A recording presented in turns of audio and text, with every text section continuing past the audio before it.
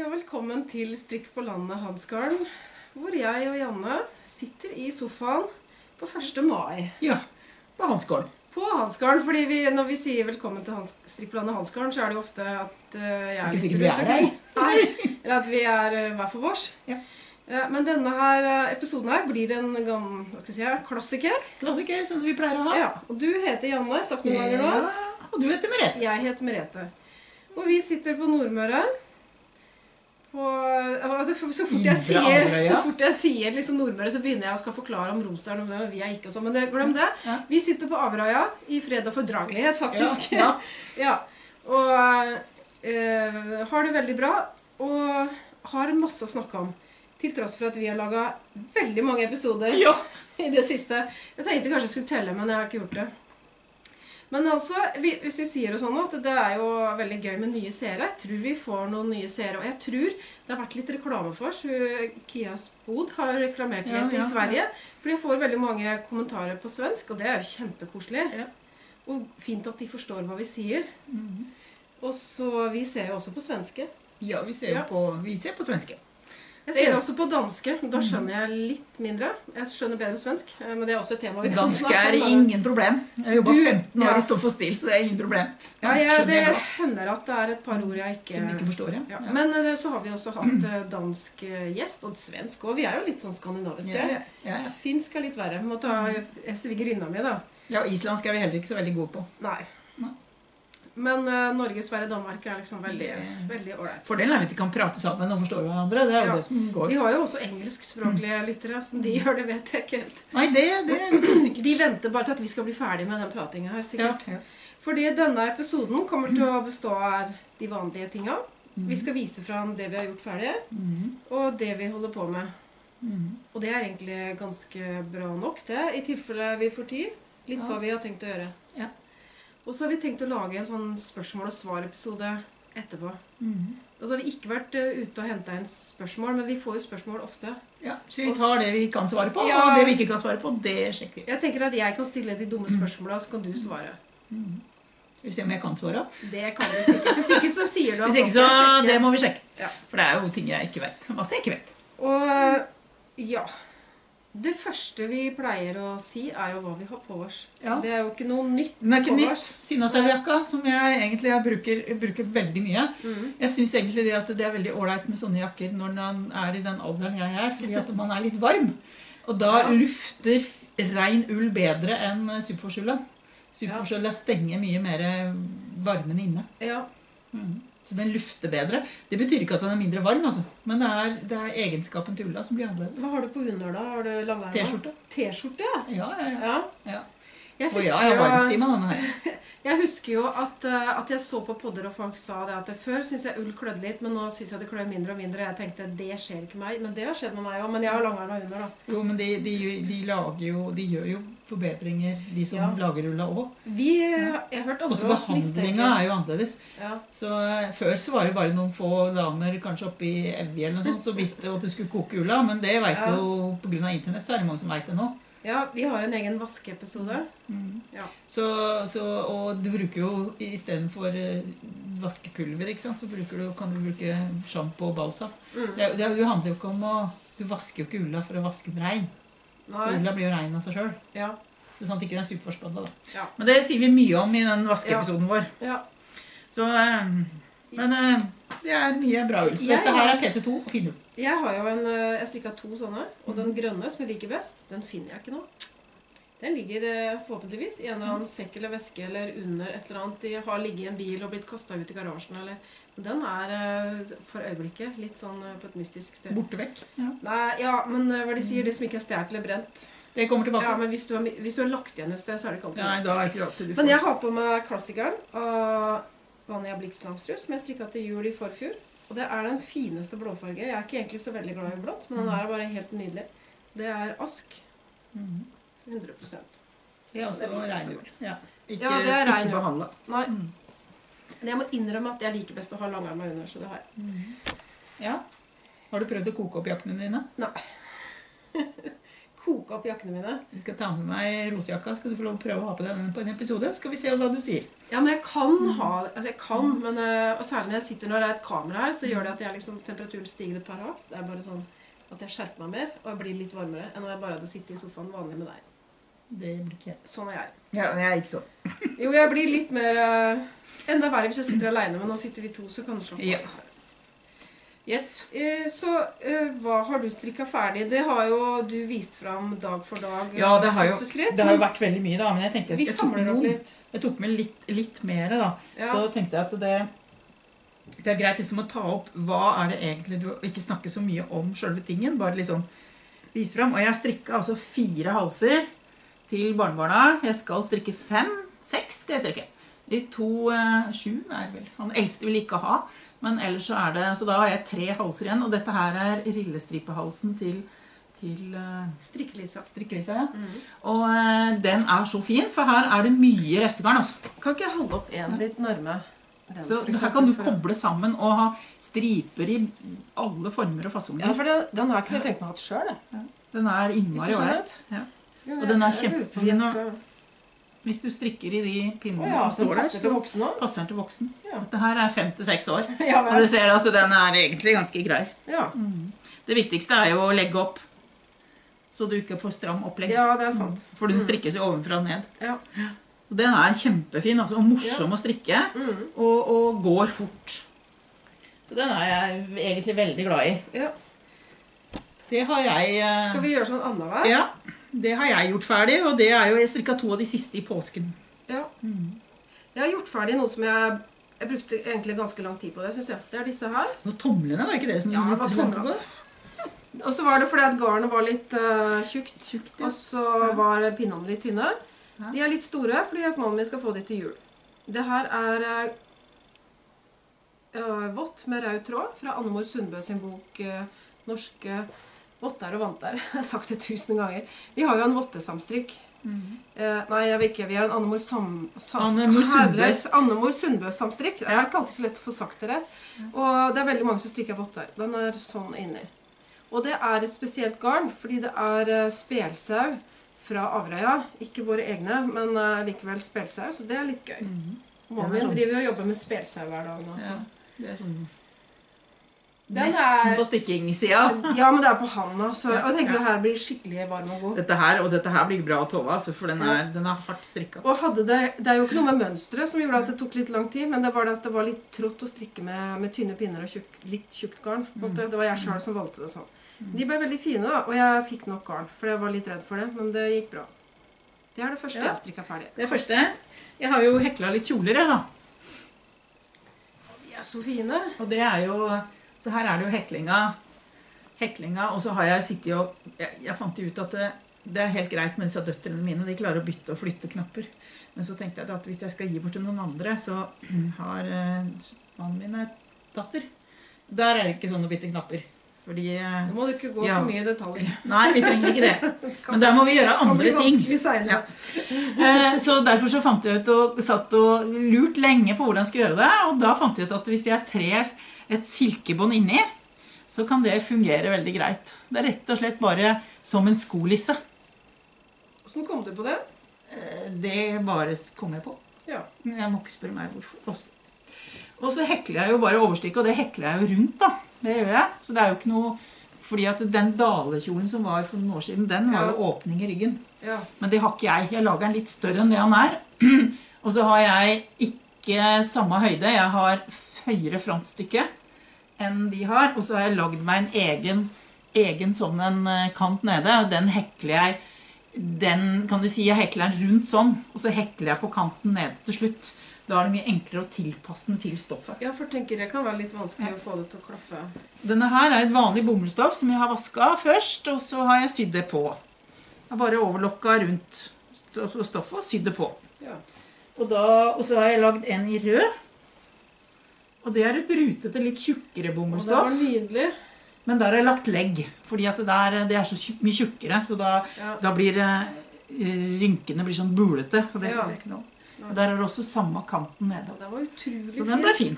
Og det var sånn Madikken-kjole. Ja, det er sånn Madikken-kjole. Mm. Så det er femåringen, hun barnebarnet mitt, som skal ha disse. Hun eh, niåringen hun vil ikke ha lenger. Nei. Og det skjønner jeg. Nei, Ja. det er kanskje litt uh... Det forstår jeg godt. Ja. Så det er de to. Jeg, Jeg kunne godt ferdig. eh, hatt på meg sånn kjole, Janne. Kunne du det? Ja, Madikken. Du vet, Det er en periode der man ikke vil, og så til slutt så blåser man i alt og går i det man vil. Ja. Jeg er mer der, da. Ja, jeg har uh, strikka Jeg vet ikke rekkefølgen på ting. Skal jeg ta en stor ting? ja. Jeg tenkte litt om jeg kanskje skulle ha på meg den, men det er litt vanskelig å vise den fram. Jeg har strikka ferdig setesdalskofta, som har vært på pinnene et helt år. Og det er ganske lenge til meg å være. En kofte vet du, Den er så tung i forhold til ull. Det her er supervårsbehandla ull, og den er bare sånn Men jeg trenger jo ikke å si det til han som skal ha den, da. Den er jo tyngre å ha på. I side ermer. Så strikka jeg litt for langt på mønsteret nede. Det er så vanskelig å vise foran. Jeg tror jeg viser bak, bare. Jeg satt på flyet, strikka, strikka, strikka. Glemte å Jeg satt liksom bare med diagrammet bretta, så jeg så ikke på hvor langt Jeg stoppa ikke i tide, men det syns ikke det gjorde noe. Nei, nei, nei. Det Jeg fikk på en måte hele den eh, som skulle være oppe, blei også nede. Men det et Setesdal Telemarksmønster. Nei, det er Setesdal. Ja, Setesdal. Ja, Ja, en variant. Agder, er? Ja, men og, Setesdal ligger vel i Agder? ja, Ja. på grensa til Vest-Telemark, Ja. på en måte, men uh, indre der. Men altså Men det er jo samme border og alt sammen, da. Eh, Anne. Sundbø er jo den som kan kanskje mest om setesdalskofter. Og hun sier at hvis du skal ha det til bunad, så er det klart du må følge mønster. Men ellers er det jo veldig mange Ja, du varianter. kan bare gjøre som du vil. Ja, Men egentlig så er jo både Fana og Setesdal ganske sånn definerte. da. Ja. Fana kanskje enda mer sånn liksom, skal jeg si, eh, vanskeligere å Med striper og striper og Ja. stjerner. ja. Her er det litt mer sånn Men du kan jo gjøre det i alle fasonger og farger sånn som du vil allikevel. Dette her er eh, Karisma i, eh, fra jeg kjøpte på Garnius, eh, som er et sånn utskjelt sted å handle, som jeg handler av og til. Men jeg er ikke så veldig eh, fornøyd med det svarte garnet. Det, jeg hadde jo eddik i da jeg vaska det. Og så vask, skylte jeg det litt uten eddik, og det bare, fargen, det, det bare var altfor mye farge. Mm. Og når jeg strikka på den her. Du ser det, det hvite har jo blitt grått. Ja. Men det er jo ikke så farlig, da. Du kan jo bruke sånn uh, color catcher, da. Ja, det er ikke så ja. Når jeg kom så langt at jeg ville vaske den, da ville jeg vaske den med en gang. Hvis du skjønner. Jeg vaska den til og med før jeg sydde den sammen. Da var jeg liksom veldig dårlig tid, da. Men, eh, Men da kan du jo bruke eddik i strykejernet. men det garnet jeg har igjen av det svarte, det kan noen få av meg. Så kommer jeg kanskje bare kaste. Vil du ha det? Jeg gidder ikke å strikke med noen. noe jeg blir svart inni hendene, faktisk. Jeg kan ta, og, og, eh, ta det opp, og så vaske det opp. Jeg kjøpte jo sånn uh, halv kilo, sånn uh, som du gjør. Eller var det hel kilo? Halv kilo? Jeg har mange- aldri opplevd at det garnet har smitta. Nei, det var skikkelig. Jeg burde kanskje ha klaga, men jeg er ikke sånn som klager. Der er du mer. Ja, Jeg er ikke jeg er konfliktsky sånn, du. Men jakka ble fin, og den skulle egentlig være til han på 19. Men han har funnet ut at han vil egentlig heller ha gensere, og så passer han godt til den genseren som eh, han under i alder har fått, men aldri bruker, så vi har gjort et lite bytte. Og tror du ikke han stilte opp som fotomodell, og han på 16? Oi. Det Hvor ble det den andre lua da, tro? Ja, det Men jeg må bare si en ting når det gjelder ja. Det er jo så mye snakk om, noe, om størrelser. Der. Ja, det er så mye snakk om størrelser eh, på Instagram. Vet ikke om du følger med på det engelskspråklige? At Nei. veldig mange kofter sånn det stopper på hva skal jeg si, extra large, liksom. Ja. På min størrelse, kanskje. Mm. Så hvis du er litt større enn meg Jeg syns ikke jeg er kjempediger. Jeg trenger ikke være så veldig diger for å være digrere enn både Nei, jeg bruker large. Ja. Ja, men, hvert fall, men hvis du da Det er jo én problemstilling. Jeg tenkte ikke egentlig at den skulle være tema, men jeg har jo da noen som driver og sånn som Hvis du skal strikke til ungdommer, gutter, som Ja, eh, så- pumper jern Mm. Så jeg tok den her på, og det blir jo litt sånn skryteklaging, da. Men jeg tok den her på han, og så har jo han så kraftige skuldre nå. for Han driver og trener. Og den satt jo ikke så fint på, for den blei på en måte Han fylte ut her, og så slang den liksom nedpå, skjønner du? På ryggen. Mm. Jeg vet ikke om det fins egne strikkemønstre for eh, gutter som er opphengt i muskler. Nei, det tror jeg ikke. Det er ikke sikkert eh, ja. Nei, Men hvis du, hvis du trenger større størrelse, så kan du strikke herre. herre. Men det er, jo ikke, det er jo ikke kofter i herre, da. Det er jo ikke det. Men det finnes jo en del kofter som er i større størrelse. Han vil ikke ha så mye, altså. Det er ikke To noe og tre ekser finnes det jo. Stort, problem. Er. Anne Kjerstin men det Hegdal blir har jo jo det. for, jo for digert ellers, for han er jo ikke han, Det er jo bare her, liksom. Det jo, Mm. de skal, skal ikke mannfolka liksom gå sånn, da? Jo, men da må du jo bare felle. Ja. Men det har jo noe med kroppsformen din å gjøre uansett, da. ja. For det er jo noen jenter også som er sånn. Jeg har jo, Ja. ene dattera mi bruker jo medium oppå og ekstra large ja, det er sant. Og motsatt òg, at man på en Ja. måte kan ha breiere Ja. hofter enn skuldre. Ja. Det er jo alle slags varianter. Da må du tilpasse det. Ja. Mhm. Ja, Men uh, når jeg strikker den her nå, så passer jo den til egentlig fem av seks familiemedlemmer. Ja. Så det skal vel bli her òg. Ja. ja. Ja. Jeg driver og strikker disse lille kongleluene. Ja, de er fine. Og så har jeg så mye restegarn. Og da fant jeg ut at det, til hun ene som skal ha den halsen, så tenkte jeg at da kunne jeg strikke. Så der har jeg brukt altså flere innfarvninger av lys rosa og av mørk rosa. Og så lagde jeg bare en litt sånn Ja, voldsomt hvor stor skifta du farge da? Da, det jeg gjorde var at eh, her skal du jo bytte Hvis du bytter på Det er vrangmasker som er den der, det mønsteret her. Ja. Men jeg bytta en pinne før. Ja. For da får du rettmasker på den nye fargen, og så får du vrangmasken. Da får du Ja. de vrange Ja, ja. tuppene. Mm. Mm. Så det er jo forskjellen, da. Så istedenfor så strikka jeg jo da én pinne mindre, og da blir det fire pinner Nei, tre pinner med den kontrastfargen blir jo da. Ja. Hvem er det som har mønster? Designet, du? Eh, Det er eh, Ja, det er eh, Er det Knitme? Det er, Ja. mener jeg litt ja. Det er litt dumt å ikke vite. Ja, det Plutselig det er en stund siden jeg strikka Du har sagt det noen ganger. Det er de som er på midtnorsk. eh, Ja. Ja, jeg tror det er Knitme fra ja. Mm. Mm. Så den, eh, det er jo en fin måte å bruke opp rester på. Så Kjempefin. lagde jeg litt sånn stor, litt sånn stor Ja. rufsedusk da, til den. Så Jeg syns at jeg de her duskene på voksenluer er litt Nei, jeg skal ikke si det høyt. jeg skal ikke si det høyt. Den ble litt sånn søt, den der, da. Sånn, men det Ja. tror jeg var det med trykknapp. Ja, det var med Ja, det er lurt. Ja, det er med trykknapp. Ja. Så får du de med strikk òg. Bruker du luer? Ja. ja. Åssen luer liker du best? For du strikker jo alltid til andre. Nei, jeg, egentlig, jeg har jo flere sånne luer. Ja, da, ja. Jeg har med meg lue i dag. Jeg har med meg lue etterpå. ja. Skal vise fram. Ja. Du kan ta en ny en først. Ja. du få se lua mi? Ja, luer. Kanskje jeg skal ta den her. Jeg har vist den fram i sånne der her. Ja. Eh, Den blei Altså, nå har jeg glemt å skrive hva den het. Den het Roadside Beanie. Og er et design av en dame som jeg ikke husker navnet på, men det er knytta til Shetland Woolwick 2019. Jeg, klar, jeg husker ikke. Vet du hva, Dette her er mønsteret jeg har fått, så jeg har på en måte bare Jeg har ikke studert eh, liksom eh, Jeg fikk det av Brit Strikkenær i påskekalenderen min. Og garn fikk jeg òg, så vi er vel eh, seks stykker som skulle ha nøyaktig samme lue. Vi er tre som er fullført. Det er jo litt gøy. Vi må jo treffes en vakker dag. Den er litt stor, men uh, den passer jo litt det jeg har på meg. Jeg har masse hår, så den fyller ut litt. Så sånn blir den. Den var fin, den. Mm. Eh, det er eh, egentlig knytta til Shetland, da, med sauer og, og sjø og, og båt. Men for eh, Brit, som eh, ga meg det mønsteret, så var det Frøya-lue for hun. Ja, men det blir jo det. For det er jo sauer og båt der òg. Og det er ingen vindmøller på lua. Det er ingen vindmøller nei! Ja, ja. Ja, ja. Nei, det er det ikke. Eh, så det var PT2-garn, eller eventuelt litt finull. Det var eh, eh, Jeg fikk bare liksom Jeg fikk ikke med banderole på, men jeg tror det var PT2. Det der, ja. Det der har du og lue, ja. Det der har jeg sett. Det må være Strikkeforbundet. Det er noe strikkeforbund, ja. Men jeg har ikke sett den på ordentlig, altså, men jeg har sett jeg kjenner igjen mønsteret. Det er eh, Line Eriksen Design. Ja, Som vi hadde i luer. Vottene ja. og lune. Jeg har strikka både vottene og lune. Vottene Ja. er jo i lilla og hvit, og denne Ja, de har her du strikker jeg i ja. grå og svart. Ja. Eh, og den er akkurat passe til meg. ja. Hva slags garn har du blitt? Det er tynt? Det var babyull. Ja, ser at det er tynnere. Ja, babyhjul. Mm. Men det blei veldig bra. Det ble passe og veldig bra. Så jeg tenkte jeg skulle lage en svart dusk, da. Men jeg, for jeg tenkte jeg skulle sette opp en sånn dusk, men det hadde jeg ikke svart. Så, så jeg tenkte jeg skulle ta lage en svart dusk. Mm. Svart og grå, kanskje. litt Altså, motivet her er et Det garnnøst og pinner, og så er det filmrull. Er det det? Nei Nei. Er ikke det en sånn der kino, strikkekino Jo, det er strikkekino, ja. Ja, det er jo filmrull, filmrull, ja. Da blir det filmrull, da. Du strikka det uten å vite Ja, jeg strikker uten å vite det, ja. ja. Stemmer det. Det er strikkekino. Det er jo det. Strikke... Ja, ja, for det er sopp. Det har jeg liksom fått med meg. Ja, Ja.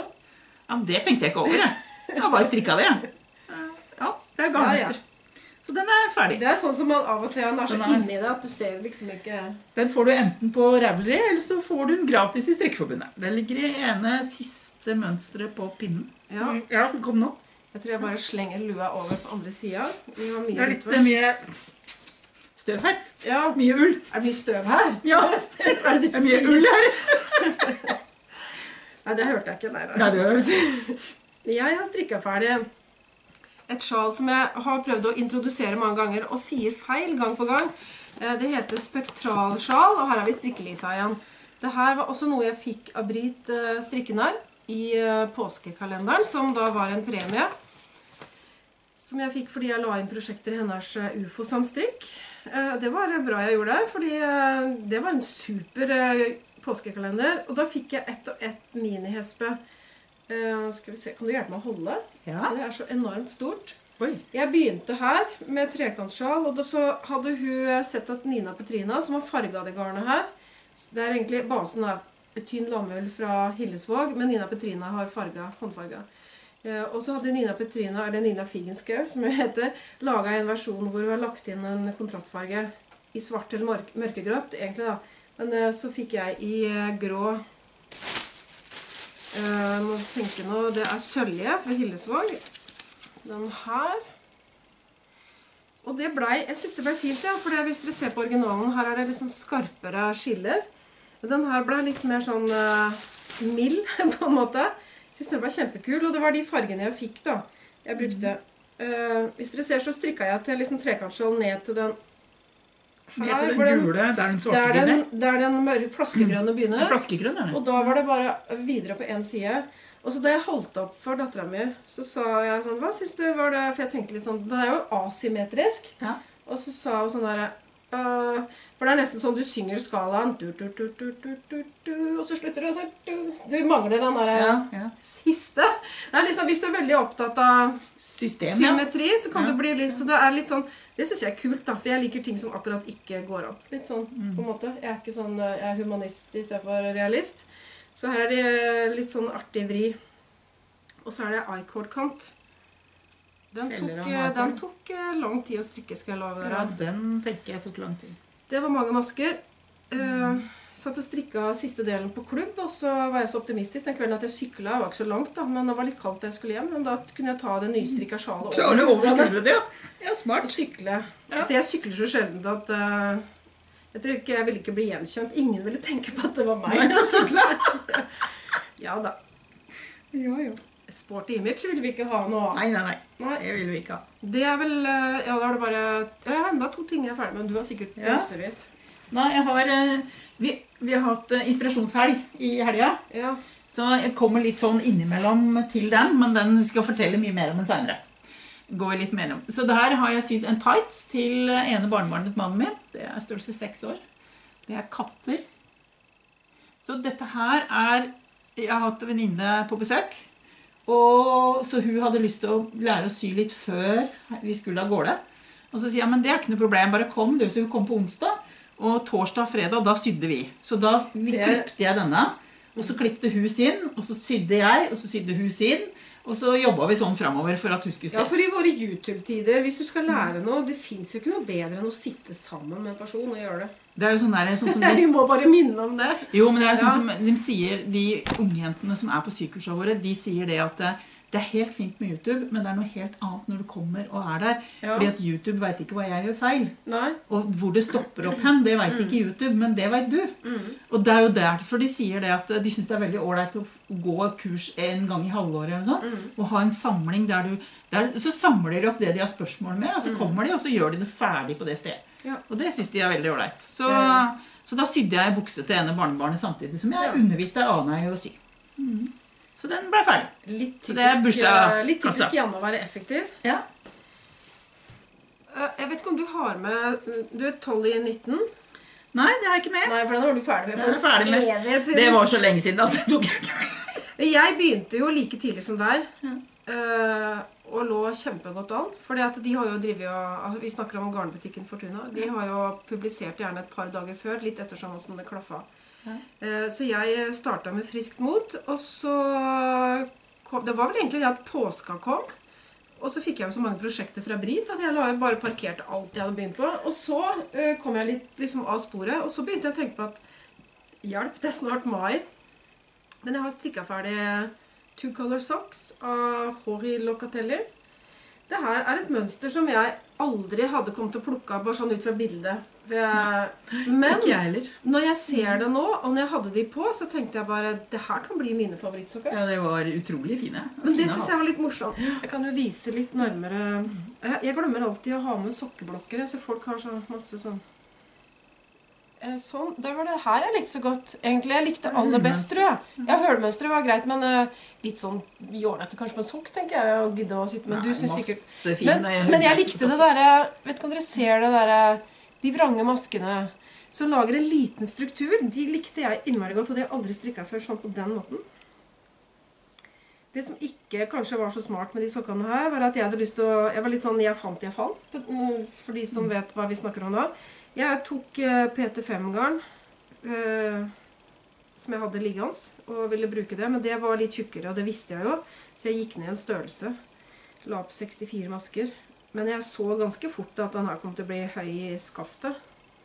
Ja, jeg kutta den, kutta Ja. den ganske mye. Det kunne jeg godt ha gjort om jeg tenkte jeg gjorde ikke så mye. Du har vel sånne muskuløse legger, Ja. som du sa. For det har ikke jeg. Så nei, men altså, jeg prøvde på Det er egentlig godt at noen av de går litt høyere opp. Så, men jeg har jo sett mange andre kulere fargekombinasjoner, da. Dette her er jo Ja, det er beige og brunt, jeg. Ja. Jeg så, jeg Med sølvtråd i. såpass, ja, det hadde du. Jeg likte veldig godt den grønne til Marit eh, på Fortuna. Den var bare helt fantastisk. Den her er liksom litt sånn ja, Den er iskald, på en måte. Men eh, den ble jo fin. da. Så da jeg strikka det Da er jo ny igjen i sokkeboksen din. Og Det det ble ferdig liksom dagen før det. det er så sein har jeg ikke pleid å vært, men det blei noe sånn i år, da. Ja. Og så i går etterlyste jeg nye mønster, da. Så Ja. nå kom det i går. Ja, det så jeg. Det tar vi etterpå. Ja. Da har vi Vi har jo inspirasjonshelg igjen, da. Og da har jeg jo Vi skulle Ja, hva var det? Fortell hva det var. eh, Det er eh, Vi har eh, Vi har hatt sykurs, og vi har hatt Nå, ah, nå snakker du om Aukra. Husflidslag. husflidslag. For For vi har hatt sykurs, og vi har hatt uh, forskjellige aktiviteter på strikkekafeer, og vi har hatt alt mulig rart, men så ønsker de å ha litt mer Gå litt mer i dybden på ting. Ja. Det er det de ønsker. Å få enkelt kan du si, flere ting i løpet av helg. Mm. Og så at det konsentrerer oss om at det er en inspirasjon, Mm. ikke et kurs. Mm. At du får bevist hvordan det gjøres, og så kan du gå hjem og mm, fikle med det videre. Og da får du mønster og beskrivelser og alt sammen Mm. til akkurat det. Mm. Så det vi gjorde, var at vi delte det opp i to bolker. Mm. Eh, to forskjellige steder. Vi hadde ett eh, rom med søm, og så hadde vi ett rom med strikking og hekling. Hvor er dere da? Da er vi på gamle skolen ute på, Ja. på Gossen. Og, eh, og der var det jo På søm så hadde vi sykonkurranse og greier. Så det var litt, eh, det var viktig. Vi hadde dommere og ordentlig og gaver og Der skulle ikke premier. jeg vært med, tror jeg. Jeg kom til å vinne i Sloseprisen. så eh, nei, det var ikke så mange som meldte inn. All- Alle vinner jo på den, da. Men okay. det er jo første, andre og tredjeplassen er litt større enn de resten, da. Så alle alle vinner. Ja. Vi har det. Alle veldig. vinner. Ja, litt sånn, vi må være litt sosialdemokratisk ånd der. Ja, men det har litt med at det er faktisk Ja. ganske mye nybegynnere som Ja, det, den jeg jeg, det var ikke tull, altså. Jeg mener det. Jeg syns det er viktig. Mm. Eh, og da hadde vi altså Vi hadde dominostrikk som én del. Den glemte Mm. jeg å ta med meg, men det kan jeg jo eventuelt ha, bild, har bilder av. Eh, og så hadde vi eh, opplegg og avfelling Ja. eh, med strikking. Ja. Og der var det mange som ikke kunne legge opp på flere måter. Det var Mm. kun én måte de la på. Mm. Det var en som satt og strikka opp. Ja, det er Og det, det jeg lærte en tok jo så evinnelig lang tid. Ja, men den er en fin metode i enkelte Ja. type Og, eh, så vi tok opp Jeg tror vi hadde oppe fem forskjellige. Ja. Og så hadde vi jo eh, Ja, da var italiensk opplegg med, da. Til Jaha. eh, brosjé. Men den ble bare vist. Mm. Så, men vi lærte opp den Old Norwegian cast on Mm. som du finner på YouTube. Mm. Det er den du legger opp og strikker en omgang samtidig. Ja, det er Det det, var den vi lærte bort. en gang, Ja. en gang i Mm. tida. Så, eh, så den tok vi som sånn hovedbit, da, og så viste Ja. vi bare de andre. Mm. Italiensk opplegg og italiensk avfelling. Og så var det jo den mest den der enkle metoden istedenfor den som du legger opp og strikker en pinne. Så tar Ja. du den enkle delen. Hvis, eh, når det Så- gjelder sånn opplegg, kan jeg bare Ja. For folk sitter sånn og sier at de å, fikk ikke nok tråd osv. Vet du hvordan jeg gjør? Det er sikkert det du gjør òg. Da fant jeg, bare, fant jeg ikke enden på den. Hvis jeg skal legge opp Det var et ekstremt lite nøste. Ja, det ekstre- det er restene av spektralskallet mitt. Ja. Så, så tenker jeg Gjør jeg sånn? 20? Ja. Gjør du også sånn? Nei. 40? Nei. Nei, hva gjør du? Du kan gjøre det på tre måter. Du kan ta, Nå du du kan ta én runde rundt tommelen. Det er fem masker. Ok, men det blir jo hvis du skal fire runder. det er skall. Det er 20 masker. Det er 50 masker. Ja, er det det, ja? Ja, det er 50 masker. Hvorfor blir det det? Hvorfor det blir det? For jeg veit at det blir det. Det er 50 masker i garn som har 100 meter på 50 okay. gram. Men for den som ikke vet, vet det, bare sånn Nei, men det er erfaring. Så det du gjør, er at du, det du det, Hvis du er litt usikker på hvor mye du skal eh, ta opp, Ja, så legger du opp og setter ned. Rett og slett bare legger opp litt forskjellige masker. ja. Og så ser du hvor langt du tar tampen, Ja, og så så ser du hvor mange det er. For dette er ikke Men det er jo ikke noe farlig å ha for lang tann. Nei, det er det jeg tenker at når jeg gjør den der 20 og drar ut 40, så vet jeg, og så tar jeg litt ekstra på slutten. Da får jeg aldri for lite. Mm. Hvis det er, sånn, altså hvis det er veldig mye tjukkere garn, så, så funker jo ikke det sånn. Nei, da Men da, da kan jeg bare slite av, så kan jeg bruke det seinere. For det er i hvert fall, hvis du skal legge, strikke et sjal eller du skal legge opp Så en så skal du ofte sy inn noe.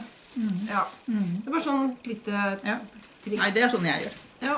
Nei, og så, og så eh, var det jo Vi kan komme tilbake igjen, for jeg har flere ting vi, vi har eh, sydd og gjort i den helga. Men det jeg gjorde, var at jeg lagde Du, kan jeg bare legge på litt mer ved i ovnen? Vær så god. Jeg kan snakke litt jeg, med Ja. Merete. Så det vi gjorde der, var jo at vi skulle lage Vi skulle hekle vestkystmasker. Og de er egentlig Knit Stitch, heter de vel nå. De het noe annet før, men nå har det blitt en forenkla navn på dem på, på YouTube. Og det er ganske morsom eh, teknikk. Eh, så det vi skulle gjøre, var å lage kurver til de her. Så jeg hekla opp den kurven der. Og den har en litt skarp overgang. Det er litt vanskelig å se det, men den har en skarp overgang, der. Det betyr at eh, du hekler staver i bunnen, og så hekler du fastmasker i bakre leddet på første pinnen. Eller første omgangen. Her har du i begge to, så der er det forskjellen. Skal får se om vi klarer å vise forskjellen her. Forskjellen, se. Jeg må snu det riktig. Sånn. Den, blir, den røde blir mye skarpere enn den, den naturfarga. Og det var jo Og det var første biten. Og så var det det at de skulle få lov å hekle da de, de eh, maskene. Og det, er, det her er hekla i dobbelt uh, bomullsport. Og det som er litt morsomt, som de ble litt overraska over, det er jo det at eh, den lilla er hekla på heklenål 2,5, og den er hekla på heklenål nummer 3. Ikke sant? Tenk dere strikkefastheten. Det finnes også noe som heter heklefasthet. Det er stor forskjell på heklenål 2,5 og heklenål 3. Er det større enn, forholdsvis større enn strikking? Det er mer større Ja, enn strikkingen. Større, Mye større. større effekt. ja. Ja, større effekt. Så det er ganske stor forskjell. Du ser jo det. Du kan jo få den fint, du får den jo fint nedi. For hvorfor hekler du og ikke strikker det? Er det pga. stødigheten? Det er stødigheten. For dette her, det står av seg sjøl, vet du. Det, du skal jo nå er jeg veldig trykke er, jeg veldig, er det litt slitsomt hvis jeg driver og springer litt rundt? Nei da. Det går bra, jeg kan forklare. Hvis jeg ikke snubler. Så, så her ser du godt hvordan du kan, kan hekle den. Du kan også strikke den, og jeg har strikka en nå som kommer i strik, Norsk Strikkeforbund i neste medlemsblad. Og, og der har du eh, Den er strikka på en litt annen måte. Ikke så veldig stor, men jeg skal strikke den litt større nå for å vise det. For jeg skal levere modellene til Tove Fevang nå i mai. Men, men, eh, men også har jeg en som er svart her. En som er svart. Den ser du ikke så godt. For den er litt Vanskelig å vise vanskelig å vise fram svart. Så, men det, det er liksom sånn sprø effekt at du faktisk også Så stor er heklefastheten. Ja. Forskjellen. Større effekt. Der har du en på ja. jeg- Men den er ikke i vestkystmasker. Den er i eh, vanlig, vanlig Ja. fastmasker. Men den er litt morsom, fordi, Mm. og det er et mønster som Arnhild Skatvedt, Skatvedt eh, har på bloggen sin. Og så det sånn, heter det spagettigarn? Hørtes Mm. Ja. det litt tullete ut? Det er egentlig stoff. Mm. Stoffremser. Og en heklenål som er liksom Nei, jeg vet ikke. Mm. Det er vel en Ja, 8-10. Men Ja, du skjønner det at det som er litt pussig med det, Det er her i måten Det kan du hekle med tjukk nål, men her det her, altså hekla med heklenål. Det her er dobbelt altså garn, så det er jo et garn som har 100 meter på 50 gram, og det er dobbelt. Ja. Så hekler du med heklenål 2,5. ja, det er litt uh... Så det er, liksom, det er litt annerledes måte å hekle på. ja. Men det er fantastisk fine, og det, vi har gjort, det jeg har gjort i tillegg, er jo det at jeg har strikka sånne små pads. Til, uh, Det var litt vanskelig å se den der. Kanskje den er litt eklere. Litt bedre. Sånn. Eh, og det her også kommer jo, de padsa også kommer i Strikkeforbundet. Og der kommer det en strikka utgave av dette her. Ikke hekla. Så, så det er litt morsomt, for denne her, det står av seg sjøl. Altså. Du trenger ikke å stive det her. Men når det gjelder de padsa Jeg ser mange som strikker dem. og jeg gjorde det òg for en del, et par år siden i hvert fall. Strikka jeg litt sånn tjukt bomullsgarn, og så skulle jeg bruke det. Jeg bruker jo ikke mye sminke, men jeg skulle ha vekk sånn maskara. Tenkte maskarafjerner. Men jeg tok på den der veska som skal fjerne, så forsvant jo den bare inn i den der bomullspaden. Jeg måtte jo tømt flaska, men da sier du Ha den våt, da. våte Våt, først. Og så har du litt på, da tar du Og da er, da er jo kluten er jo metta. Ja, for bomull, den bomullstråden i forhold til sånn bomulls... Eh, hva heter det? Pads. Ja, men det er jo, det er jo noe helt annet. For det er jo kunstfiber. Ja, Det er ikke bomull. Nei, det er ikke bomull. Nei. Nei, det er ikke Hvorfor heter det bomull? Heter det ikke bomull? Nei, jo, det er vel bomull i eh, Men du, det er nesten sånn når vi diskuterer liksom fibergarn, på en måte, for den oppfører seg veldig annerledes. Ja, for den trekker ikke til seg Nei. på samme måte. Nei, for det, Den trekker til seg, den òg. Ja, men den Uh... Ja, det er bomull i den òg. Ja. Når du tenker om, så er det det. ja. Men eh, for jeg tenkte, de det her jo funker jo ikke men hvis, uh, hvis en skal ha vann på først. Ja, bare vet det. For jeg spurte deg i går på Facebook mm. har du prøvd de der, men du sa nei, bruker ikke, men dattera di Jeg bruker ikke sminke, jeg, da. Nei, jeg er så lite med meg, men jeg, bruker, men jeg tenker, tenker litt på det, for jeg liksom tar vekk den maskaraen, så hiver jeg søpla, tenker jeg, hiver i søpla, hiver i søpla, hiver i søpla. Ja, nei, det, de bruker det. Ja, De bruker disse her, og, bruker, og de bruker dem jo flere ganger. Og derfor så er jo de jeg har strikka, de har jeg jo lagd med kast. Slik at det skal være Ja. høl i bånn, så det er luft. Mm. Men, Men det har ikke de. Garnet her da, De her er bomull. Ja, hva slags, uh, Det er tjukt. 100 meter på 50 gram. Ja, altså, hvis, Men liksom de ikke- padsa de er strikka med av mandarin. Ja, det var det jeg tenkte, de bør være ganske tynne. Ja, og de er tynne, og de skal være kompakte, så de er Ja. på pinne nummer to. Ja. Mm. Så det er ikke så fort gjort likevel da. Jo, dem, eh, du strikker dem fort, da. Ja, ja. Det er jo ikke mange maskene. Så, men dem kommer der. De kommer, i, kommer i, eh, i, på pinnen, men da er en strikka utgave også av denne her, og den ser annerledes ut. Så den tror jeg ikke jeg har med meg. Jeg tror ikke det. Men jeg skal se etter når jeg kommer eh, innimellom her, så skal Ja. vi se om vi finner. Ja. Ja. Har du noe mer? Ja, det passer jo veldig, veldig bra at eh, vi har jo ikke avtalt rekkefølgen. Klut. Det er sånn, at skal jeg vise fram den? Ja, ja, hvorfor ikke? Eh, Du må legge den inn på Ravelry. jeg har ikke gjort det. Har du ikke gjort det? Ja, men skal jeg ha en post for hver klut? Ja, jeg har det. Ja, ja for jeg tenker da, da skal jeg klare å nå målet mitt på Ravelry-challengen hvis jeg kan legge Hvor mange har du på challengen? Jeg tror jeg nærmer meg 50 Hvor mange har du? eh, Hvor mange har jeg? Jeg tror jeg la inn Jeg tror jeg har nummer 40. 44 fire. Hva la jeg? Hva du har lagt inn mer enn meg. Men jeg syns den tellinga der er helt tullete. For det at, ikke sant, så strikker jeg det her. Kjempe, Nå sitter jeg med de fagene, for det er så deilig. Det tar timevis. Og så lager jeg en sånn liten påskeegg, og så legger jeg en så teller det likt. Så det er egentlig den tellinga der. Det er, da, det er liksom matematikk på et meningsløst nivå Ja, jeg bryr meg ikke så mye om det. Ja, nei, ikke jeg heller, så jeg husker ikke helt, men jeg nærmer meg 50. Det er samme som med den der lagerstrikkgruppa. Det, vet du. Ja, den ler har jeg jeg slutta med, men vi kan ikke snakke stygt om Nei, det. jeg Da får jeg ler. Det er litt morsomt, da. Fordi at de har jo ikke forstått at det, altså, Det lo i går, for det var ei som la ut eh, et eh, Hun hadde skulle strikke noe for ei. Så hun lurte på om det, om hun kunne legge det ut i lagerstrikkegruppa. For det var jo fra et lager. Er sånn der, hvis, du går, hvis en kunde går og kjøper et garn i butikken og gir det til deg for at du skal strikke, så er jo ikke det ditt lager. Det, det, ditt lager blir jo ikke mindre er- av det der. der. Da jeg oppdaga noe med at du skal helst ikke kjøpe noe nytt før du har strikket. Når jeg begynte å lese reglene, der, så tenkte jeg jeg fant ikke igjen albumet mitt heller. Det var, så det var vanskelig teknisk. Men jeg, jeg har egentlig dempa det Facebook eh, irriterer meg mer. Ja, jeg syns det var litt morsomt, jeg, da. Men det er jo en veldig fin tanke, men det er veldig fin tanke at du skal strikke så og så mange ting før du kjøper nytt. Mm. Hurra for den. Eh, Men når du skal få mange til å gjøre det og gå i takt, det er da det blir Det morsomt. det blir, eh, det blir litt morsomt, da. Ja. Men det, det, er liksom, det er jo sitt eget lager han skal slanke, da. Ikke Ja, andres. nei. Ikke Men butikken sitt, i hvert fall. Men denne her da har slanka mitt eh, bomullsgarnlager. Det er tre rett og en vrang. Ja. På eh, Bretta og tre rett og en vrang på en vrangside. Ja.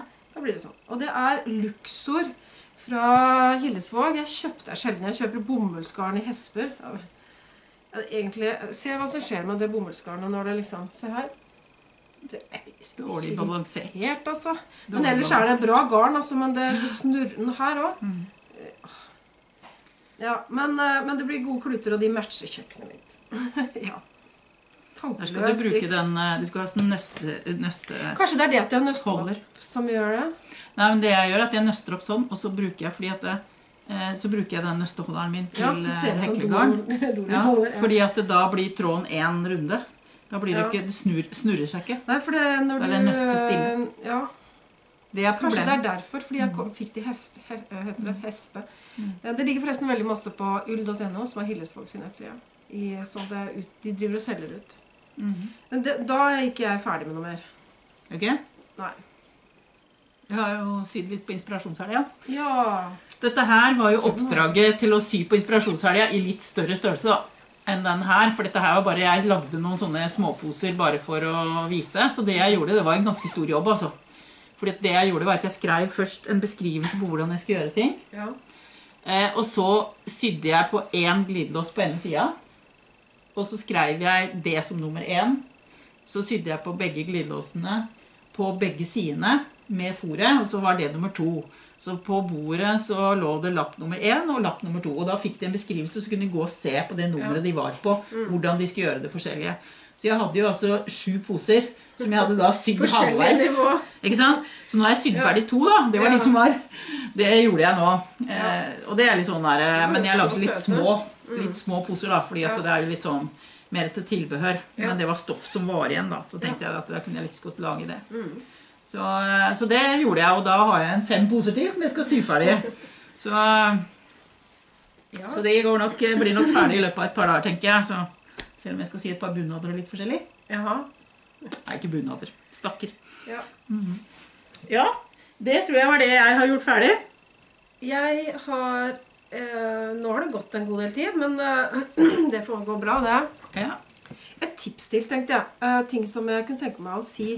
Eh, når det gjelder sånn eh, Instagram-fotografering, som du ler litt av fordi folk danderer og ordner. Jeg danderer og ordner litt, da. Jeg er ikke sånn, jeg le litt. Nei, jeg er ikke sånn, jeg. Men jeg eh, har, jeg har gått med noen par sånn minikurs også om det. Men jeg tenker dagslys. Det er superviktig. I hvert fall for meg så er det viktig. Jeg ser veldig stor forskjell. Det kan være fargen opp på det samme prosjektet. Tatt inne og tatt ute. Ja, det er Eller i gamle dager og nå, for nå kan jeg litt mer. Men noe som er veldig enkelt. Jeg har f.eks. en linduk. Nå er den bretta i to. da den sånn løper. Helt vanlig sånn naturfarga linduk. Det er en veldig fin bakgrunn til veldig mye. Hvis ikke det du strikker er i nøyaktig samme farge som det her, for da blir den borte. Men ofte så går jeg ut på verandaen i sidelengs regn. Av og til. Den her ligger forresten som eh, Jeg hadde den her under da jeg prøvde å, i jula skulle filme eller ta bilde av grytklutene. Det blåste så at det blafra. Det var helt latterlig. Men jeg legger den her under, legger prosjektet oppå og tar bilde. Og hvis det er et enda mindre prosjekt, så kan jeg bruke en annen linduk. Den her er fra Litauen, vet jeg. Fått det av ei derfra. Eh, med veldig fin sånn blondekant. Eller jeg kan legge den oppå her òg. Det blir veldig fin og rolig bakgrunn. Altså, eller du kan legge Hvis du har et strikka-prosjekt som er ensfarga Jeg har en veldig lang strikkajakke med glattstrikk storparti. Det er gammelrosa. Alltid så legger jeg den og har den som bakgrunn. Det er et eh, tips hvis noen vil ha det. Eller i hvert fall at det blir en kontrastfarge, da, men som ikke tar for mye oppmerksomhet. Så den prikkete duken på kjøkkenbordet er ikke alltid passer så godt. Nei, det, Men det skjer det at jeg må finne noe nøytralt å legge det på, ja. ja, og en sånn linduk eller et eller annet mm. nøytralt som er Jeg, liksom jeg gjør litt sånn, da, men jeg finner ikke fram blomster og alt mulig rart. Jeg, Jo! Det, for du er litt sånn du er, Nei, jeg ler ikke. Men jeg, jeg syns jo bildene dine er fine, da. Jeg syns jo det, men, men det er liksom ikke, det er ikke sånn jeg er, da. I går Unnskyld. I går sto jeg, jeg Nå har det jo blitt kaldt, så i går sto jeg på verandaen og ordna og styra. Så kom det et spørsmål. 'Mamma, hva er det du holder på med?' «Eh, jeg fotograferer. Ja, for da var det linduk, og så var det her. For det her er nemlig mitt store prosjekt som går nå. Og så er det her farger eh, som er i hagen akkurat nå. Eh, og da måtte jeg jo ha bildet eh, sånn lettere arrangert av mine Det er eh, kuleprimula. Det er vel noe som heter vårvortemelk. Et rart navn. Og så er det akeleie, første som har kommet. Fordi det har vært så varmt at vi ligger jo to uker foran eh, det vi lå i fjor her. Eh, En liten kvist med plommeblomst fra plommetreet. Det er eh, hvit for glemmer jeg. Og gul Ja, det er den der som jeg sa allerede. Men se, det her skal bli eh, Jeg har jo snakka om den før, da. Jeg har bare snakka om den og ikke fått realisert den. Og nå er jeg jo ferdig med Og skumring, forresten. Jeg er ferdig med jakka skumring. Hadde den på meg på Husfliden i Kristiansund. Og hadde besøk av mamma, så mamma syntes den var fin, og så fikk hun den. Det var ikke planlagt, men den er borte. Men det er veldig greit. Er det noen Ja. som uh, kunne ha den, så er det mamma. Så hvis jeg vil ha den igjen, så låner jeg litt. når jeg er. Her skal bli loppa. Og jeg har filma, det vet ikke du om, men jeg har tenkt at nå her skal jeg dokumentere litt sånn prosessen. Så jeg har gjort i hvert fall to små opptak eh, tidligere i uka. Sånn på noen minutter bare. Hvor jeg sier litt hva jeg gjør. Så jeg tenkte jeg skulle lage en liten serie på det. Eh, og det er telespinn, symregarn. Litt, jeg vet ikke om det vises, det er en liten sånn eh, fluff over her. Og så tar jeg meg visse friheter når det gjelder bordene til eh, Ann Myhre Pinneguri. Jeg bruker det som utgangspunkt. Jeg planlegger ikke akkurat hvilken farge som skal være hvor. Jeg bare passer på at det lyse blir lyst, og det mørke blir mørkt. Og så for et sted her så glemte jeg Jeg la ut eh, hver åttende maske istedenfor hver fjerde, for jeg så feil i diagrammet. Og da jeg oppdaga det, så istedenfor å rekke opp, så bare la jeg inn eh, et par eh, en, ja, To omganger i glattstrikk med et garn som skifter farge sjøl. Som det var litt sånn litt spill i det. Og der la jeg opp de maskene som mangla. Sånn juks er lov, tenker jeg. Kanskje plutselig en dag så gjør jeg noe juks som slår uheldig ut, men det tror det funker bra. Det er forkorta rader her bak i den, de to lilla stripene. Det er litt eh, lange runder nå. Det er 400 masker og et eller annet. Den skal bli litt stor. Jeg vil ha den litt stor. Jeg syns fargene er kule. Det som ikke er så lett å se, det er veien videre. Er det her? Ja, og så har jeg det. Jeg viser jo aldri fram veskene mine, for jeg tar det alltid ut. Det her er jo Marimekko-veska mi som du har sydd for meg. Med sånn fin blonde inni, og det er gamle gardiner. Og det er ekte Marimekko-stoff som eh, min svigerinne Anna har kjøpt i Finland, fordi hun er fra Finland. Ja, men eh, oppi der har jeg telespinngarnet mitt, og det er det her som skal bli hovedfarge. Det, så, det går ikke an å se enda, på en måte. Ja, den lilla fargen her er veldig fin, og garnet er kjøpt hos Yvonne på Kaffebrenneriet. Og noe av det er kjøpt på Telespinn eh, utsalget oppe i Svartdal i Telemark. Eh, og jeg har jo strikka en sånn fra før. Den blir ikke så helt ulik. Hvis man ser her, så ser du noen av de samme fargene. Men jeg liker den her så godt at eh, jeg vil ha den i Den her er jo litt sånn varm, blir det vel. Den her er vel kaldere. Jeg er litt dårlig med farger. Den er varm, og den er kald. Mm. Ja. Så det blir litt andre toner, da. Så det er mitt store prosjekt eh, for tida. Jeg begynte vel Begynte for bare noen få dager siden, så det går unna. Jeg skal ikke si så veldig mye mer om det nå. Da skal jeg få lov å Det var noe rart her. Jeg har fått strikkepinnen har gått igjen. jeg sier det som jeg er nærmest til å bli ferdig med, da? Ja. Jeg har fire centimeter igjen før jeg er ferdig. Og det var så varmt at jeg måtte bare legge vekk. ja, den har vi sett i påska. Ja. Men det blei så varmt at jeg orka ikke å strikke mer på den. Så den strikka armene tur-retur hytta. Ligger armene inni nå? Ja, Ja. armene ligger inni. Ja. De er, eh, Der var det. ermene er ferdig. Men det er også et eh, eh, tips. Hvis du strikker ovenfra og ned Hvis du strikker armene litt tidlig i prosessen, så kan du bare vrenge de inn. Så Ja, slipper du å ha en de. sånn stor blekksprut i fanget. Så det er fire centimeter igjen, så det er ferdig. Ja. Så da er det kanter og sånn, da. Det er det. Men det går fort. Garnet ligger Det er merino extra fær. Ja, som Sånn eh, fra drops. Skal vi se. Der ser vi den, vet du. Mhm. Så den er jeg straks ferdig med. Det er en del spør som spør om det der med rino og sånn vasking og sånn. Det kan vi kanskje ta med noen spørsmål senere. Det har vi snakka om før. Ja, Det har vi om før også. Ja. Vi kan ta problembarnet en gang til, vi. Ja. Mm. Så den er, eh, den er straks, eh, straks ferdig til å strikke kanter med. Så, og så har jeg ikke strikka den høyre bak, så det kan hende jeg må plukke opp og gjøre det. Men det er, eh, tar jeg bare opp Var det og en, strikker. unnskyld meg, var det en forglemmelse, eller var det bare Nei, det ble, jeg syns ikke det ble noe fint med så voldsomt lange sånne striper bakpå. Nei, Så tenkte jeg da tar jeg heller og strikker den høyere opp bak etterpå. Jeg tror ikke det er overgangsalderen, men uh, det her ble litt varmt. Jeg har altså lag på lag. Sånn. Uh, jeg holder på med en jakke til, og den tenkte jeg også jeg skulle dokumentere litt prosessen på. Den uh, hadde jeg kjøpt da du satt og strikka på Inspirerende hobby. Og den er også med i den der steg for steg-videogreiene mitt, som jeg tenkte jeg skulle legge inn som en liten post. Sånn at jeg på en måte tenker høyt. Her har jeg vist, eller bare snurra seg skikkelig rundt mange ganger. Eh, Jeg, har, det, jeg vet ikke om jeg skal kalle det for eh, at jeg har begynt, for jeg bare kalte det for en prøvelapp. Men eh, det, sånn blir det herved. Jeg viste vist fram noen ganger eh, i Husfliden. Kristiansund viste jeg fram. Og så har jeg det lille filmklippet som jeg legger inn på slutten. Det er tretrådsgarn fra Rauma i veldig svak kontrast. Men jeg syns det her var delikat. Mm, fint. Ja, Men han var veldig mye klarere på, på videoen enn det Enn når du sitter og ser det i motlys. motlys. Jeg tror det er motlyset som gjør det. Fargene er sånn. Mhm. Og jeg hadde aldri kommet til valgt de. Et langt hår som blanda seg inn. Jeg strikker så av og til inn noen hår i mine prosjekt. Få se den på sida, så den ikke er i motlys. Eh, Det er det bedre. Veldig fine farger, syns jeg. Og jeg hadde aldri kommet til valgt de sjøl. Og det er litt derfor jeg strikker de. For når jeg velger sjøl, så blir det rosa-lilla bestandig. Um, Rauma Tretros er litt på vei inn igjen. Det er jo tjukkere enn finull, og ikke fullt så mange farger å velge mellom, men et kjempegodt garn. Kan hende det kommer mer hvis det blir veldig populært. Ja, fordi nå kommer det jo hefter med det. Jeg tenker at Det er jo en måte å få det til å bli litt populært på. Jeg har også vist fram det her noen ganger, men jeg bare syns den er fantastisk. Mm. Det her kjøpte jeg under koftefesten. Jeg var jo superinspirert. Men jeg hadde bestemt meg på forhånd. Det er ikke så ofte jeg har det. Jeg går inn i en garnbutikk, faktisk. Det var i gamle dager. Nå er jeg litt mer sånn nølende. Men her skal jeg strikke etter Anna-jakke. Med rullekanter og raglandsfelling.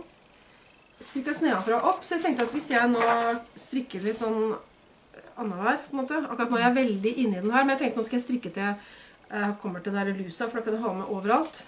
Den her må jeg foreløpig tenke litt. Jeg kan ikke det mønsteret utenat. Det kommer jeg sikkert til å lære etter hvert. Men eh, her strikker jeg jo skal nedenfra og opp, og jeg bare begynte på eh, erm fordi jeg gidder ikke å strikke prøvelapp når jeg strikka prosjektet i det garnet her før. Ja, nei, Da strikker du ikke prøvelapp. Nei, og så tenker jeg at det her kan være en prøvelapp. Sånn det, og så målte jeg på den rullekanten, og så tenkte jeg det her ser greit ut. Og så det er noe med at Jo mer du strikker, jo lettere blir det å vete Det vil si, man kan jo forandre strikkefasthet også. Un underveis når man strikker, ja? Ja, og underveis Ja, ja. i livet, ikke Ja, minst. Men jeg, dette her ser greit ut for meg. Jeg prøvde på. Hvis jeg legger det vekk og lar det ligge et halvt år, så kan jeg fort ha bytta strikkefasthet. Ja. Så det her eh, Det er veldig sånn forskjellig uttrykk. Den er sånn masse farger og, og ja eh, Litt sånn vill, på en måte. I hvert fall i po- eh, fasen jeg er nå. Den her er mer sånn satt mønster, liksom. Og her følger jeg mønsteret. Vil si, jeg gjorde en tabbe. Er det her stedet for å fortelle om tabbene sine? Den nederste kanten, som ikke gjentas, så vidt jeg kan huske, der snudde jeg den på fargene og blåser i det. La det være sånn. Syns ikke det hadde noe å si. Nei, det veit. Det er min eh, egen måte å gjøre det på. Så Ja. det er eh, Det er to, to kofter på gang. Bare to, du. Jeg har flere på, i kø, men det er bare de jeg har starta Bare de to du har kjørt på? Ja. Ja, jeg har flere enn det på gang, jeg. Ja vel, få se. Ja, da her er det fullt kjør på kofter. Da jeg la opp til en ny en her om dagen, så tenkte jeg ja ja, hva er det du holder på med egentlig? Men det får vi se på. Eh, det min med gamledukken, den, ja. der er det fortsatt den en eh, Petra-kofta. Den er jo så fin. Den har jeg strikka Jeg tror jeg strikka fire eller fem omganger i påsken. Ja, ja. Men det blei litt spennende på krimmen, så da rakk jeg ikke å strikke mer. Jeg sa jo at vi er ikke interessert i krim, men jeg kom på det når jeg sa det, at du er jo egentlig interessert, men vi, når det var påskevlogg fra vårs, så handla det ikke så mye om krim. Nei, det handler ikke om det. Så den eh, er, den er fortsatt der. Ja. Den er eh, god og i gang. Og så har jeg da en annen kofte som jeg begynte på Jeg begynte på i over i går. Ja vel. Har jeg Jo, den har jeg sett bilde av. Ja, Sommerfuglkofte? Ja. Hvilken følelse av det? Jeg kjøpte altså sånne spoler til strikkemaskin. Og Hoi heter det på Nordmøre. Ja. Har du sett? Det er en halv kilo. Her snakker vi også så tynt garn. Ja, men det er holst. Det er holst Ja, så det blir tjukkere. Ja, det blir måte. Så jeg har jo fem sånne i forskjellige farger. Men det bare ryker på Hvor mye sa du det var per En halv kilo. en halv kilo på én spole? Men det bare ryker på strikkemaskinen min. Så jeg Ja. har jo også de fargene her. For det forklarer mengden, da. Du hadde Ja. tenkt å ha det på strikkemaskin? Ja. ja. Så For det er jeg har ikke så jo, praktisk å gå jeg har jo her flere her. da. Natur, kongeblå og lilla har jeg også. Ja. Litt nærmere. Like store? Ja. Så jeg har mye garn Jeg har mye garn som jeg ikke kommer til å bruke. Ja, ikke på strikkemaskin. Nei, jeg kommer, ikke til, å- jeg kommer til å håndstrikke det. Ja, ja. Så her, her har vi spennende. sommerfuglkofta. Og dette Her Der er sommerfugl. Den begynte jeg på for to dager siden. Strikka ferdig mønsteret. Så nå jeg, skal jeg dele av til armene. ja. Nå har jeg strikka ferdig siste borden. Mm. Så Og design er Anne Kjerstin Hegdøl. Det har jeg begynt å lære meg litt nå. Så denne her, og prøvde den i går. Den passer Mm. perfekt. Mm. Den, hvis eh, noen syns det ser glissent ut så er det, det Dette her er garn, Det garnet her er det er spillolje på det. Eller sånn Spinnolje. Spinnolje. Ja. Ikke spillolje. Ikke spillolje. Og det, det betyr at det er jo, det er jo ikke vaska eller gjort Nei. etterpå. Nei. Eh, fordi at, eh, og det som skjer når du vasker det her For det er jo også klargjort strikkemaskin, som du sier. Og da Mhm. kan det ikke være, da kan det ikke være vaska. Nei. Det Eh, det samme med lammulla. Er Ja. Lammulla jeg har, er mye tynnere enn den lammulla du har. Ja. Fordi at den er, den er, den er voksa. Ja. Så det som skjer når du vasker den, er at den blåser seg opp. Mhm. Og det er litt sånn morsomt, da. Akkurat det der. der. Så eh, ja. Det var det bildet jeg syns jeg så. der ser du at den er på skuldra mi. Ja. Så den passer helt perfekt. Ja. Her ser du, her ser du her prøvde jeg den. Og den eh, sitter helt Ja. fantastisk rett. Så det jeg gjør nå, er at jeg strikker jo den i to farger, da. Men den er jo egentlig ikke to farger. Den er egentlig i mange farger. Ok. Men jeg skal vise ja, jeg deg bildet av den. men jeg kjenner den ikke igjen i farta. Kanskje det er derfor jeg ikke kjenner den igjen? Det er nok det som er grunnen. For sånn Ja, ser den der, ja. Mm. Sånn ser den jo egentlig ut, da. Der er Anne Kjerstin har den på seg sjøl. Ja. Den er i grønntoner. ja. Så jeg har jo masse i lilla, så jeg lurte på om jeg skulle strikke den i lilla. Og så bestille bare det lille garnet, den fargen der. Jeg strikker en gang til. Strikke den en gang til, ja, ja. men i eh, lilla. Og så Mm. lilla toner istedenfor å strikke den i den, de, de fargene Mm. hun har. Så jeg lurte på det, da. Så denne her er med, her er det med midlertidig opplegg, så jeg strikker jo delvis opp, og så strikker du opp igjen. Første gang jeg så det i en strikkebok, da skjønte jeg ikke det sto 'legge opp på en tråd'. Det var i kofteboka. Jeg tenkte jeg har jo strikka i 100 år snart, men den skjønte jeg ikke. Men det betyr bare at du, Du skal, du skal strikke opp igjen etterpå. du legger opp Det jeg gjorde, var at jeg la på en pinne, og så satte jeg tråd i etterpå. Altså legge opp en så legger du opp Nei, en tråd. Det jeg vet, jeg lager dobbelt opplegg. Ok. Mm. Inn på søke opp dobbelt opplegg. Mm. Ja, med to pinner? Nei. Nei. Med et garn, garn på ene, og du kan jo bruke, du bruke vaieren på pinnen. Ja. Det kan du gjøre, men her er det mye masker, så her brukte jeg en tråd. Ja. Mm. Så du Jeg kan legge ja, opp dobbelt på en pinne. pinne. Ja. Mm. Men det går an å legge opp en pinne og ta nål og tråd, og så bare ta tråden inn etterpå. Ja, det går an å gjøre. Det går an å gjøre. Hvis ikke så finner du dette på YouTube. Ja. Masse av det på YouTube. Men det, Ja. derfor så virker denne her litt tynn, denne, det garnet her. Ja. Men det blir veldig fluffy når du får vaska Ja, og hun Anne Kjersti Hegdal var på koftefesten og Mm. hadde alle koftene sine som hun hadde sjøl utstilt. Mm. Og de var fantastiske. Og nå kommer det Fem av de kommer i familien til høsten. Gjør de det? Ja. Ikke samtidig, Jeg vet ikke om det er et, Hun visste ikke om det var i familien blad, eller om det var et sånt ekstrablad. Det gir jo ut et kofteblad òg. ja, det Så det. kan hende det er kofteblad som kommer til høsten. hende. Og det kjøper jeg uansett om jeg liker det eller ikke. Mm. Ja, jeg også kjøper de. Ja.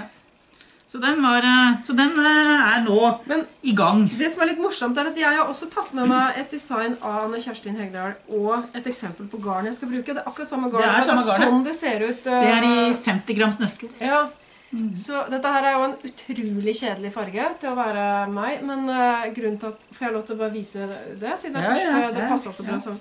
Jeg skal strikke den her, for den hadde hun med seg. Jomsokkofte. Og da er dette her bunnfargen. Så er det veldig mye andre fine farger. Uh, den må jeg jo prøve å strikke før Jonsok, da. Det skal jeg nok rekke. Jeg har ikke strikka den, for jeg driver og samla opp. De har det jo på Knitre på Bruhagen og i Kristiansund. Og jeg samla og samla, nå, nå, skal jeg, nå skal jeg begynne.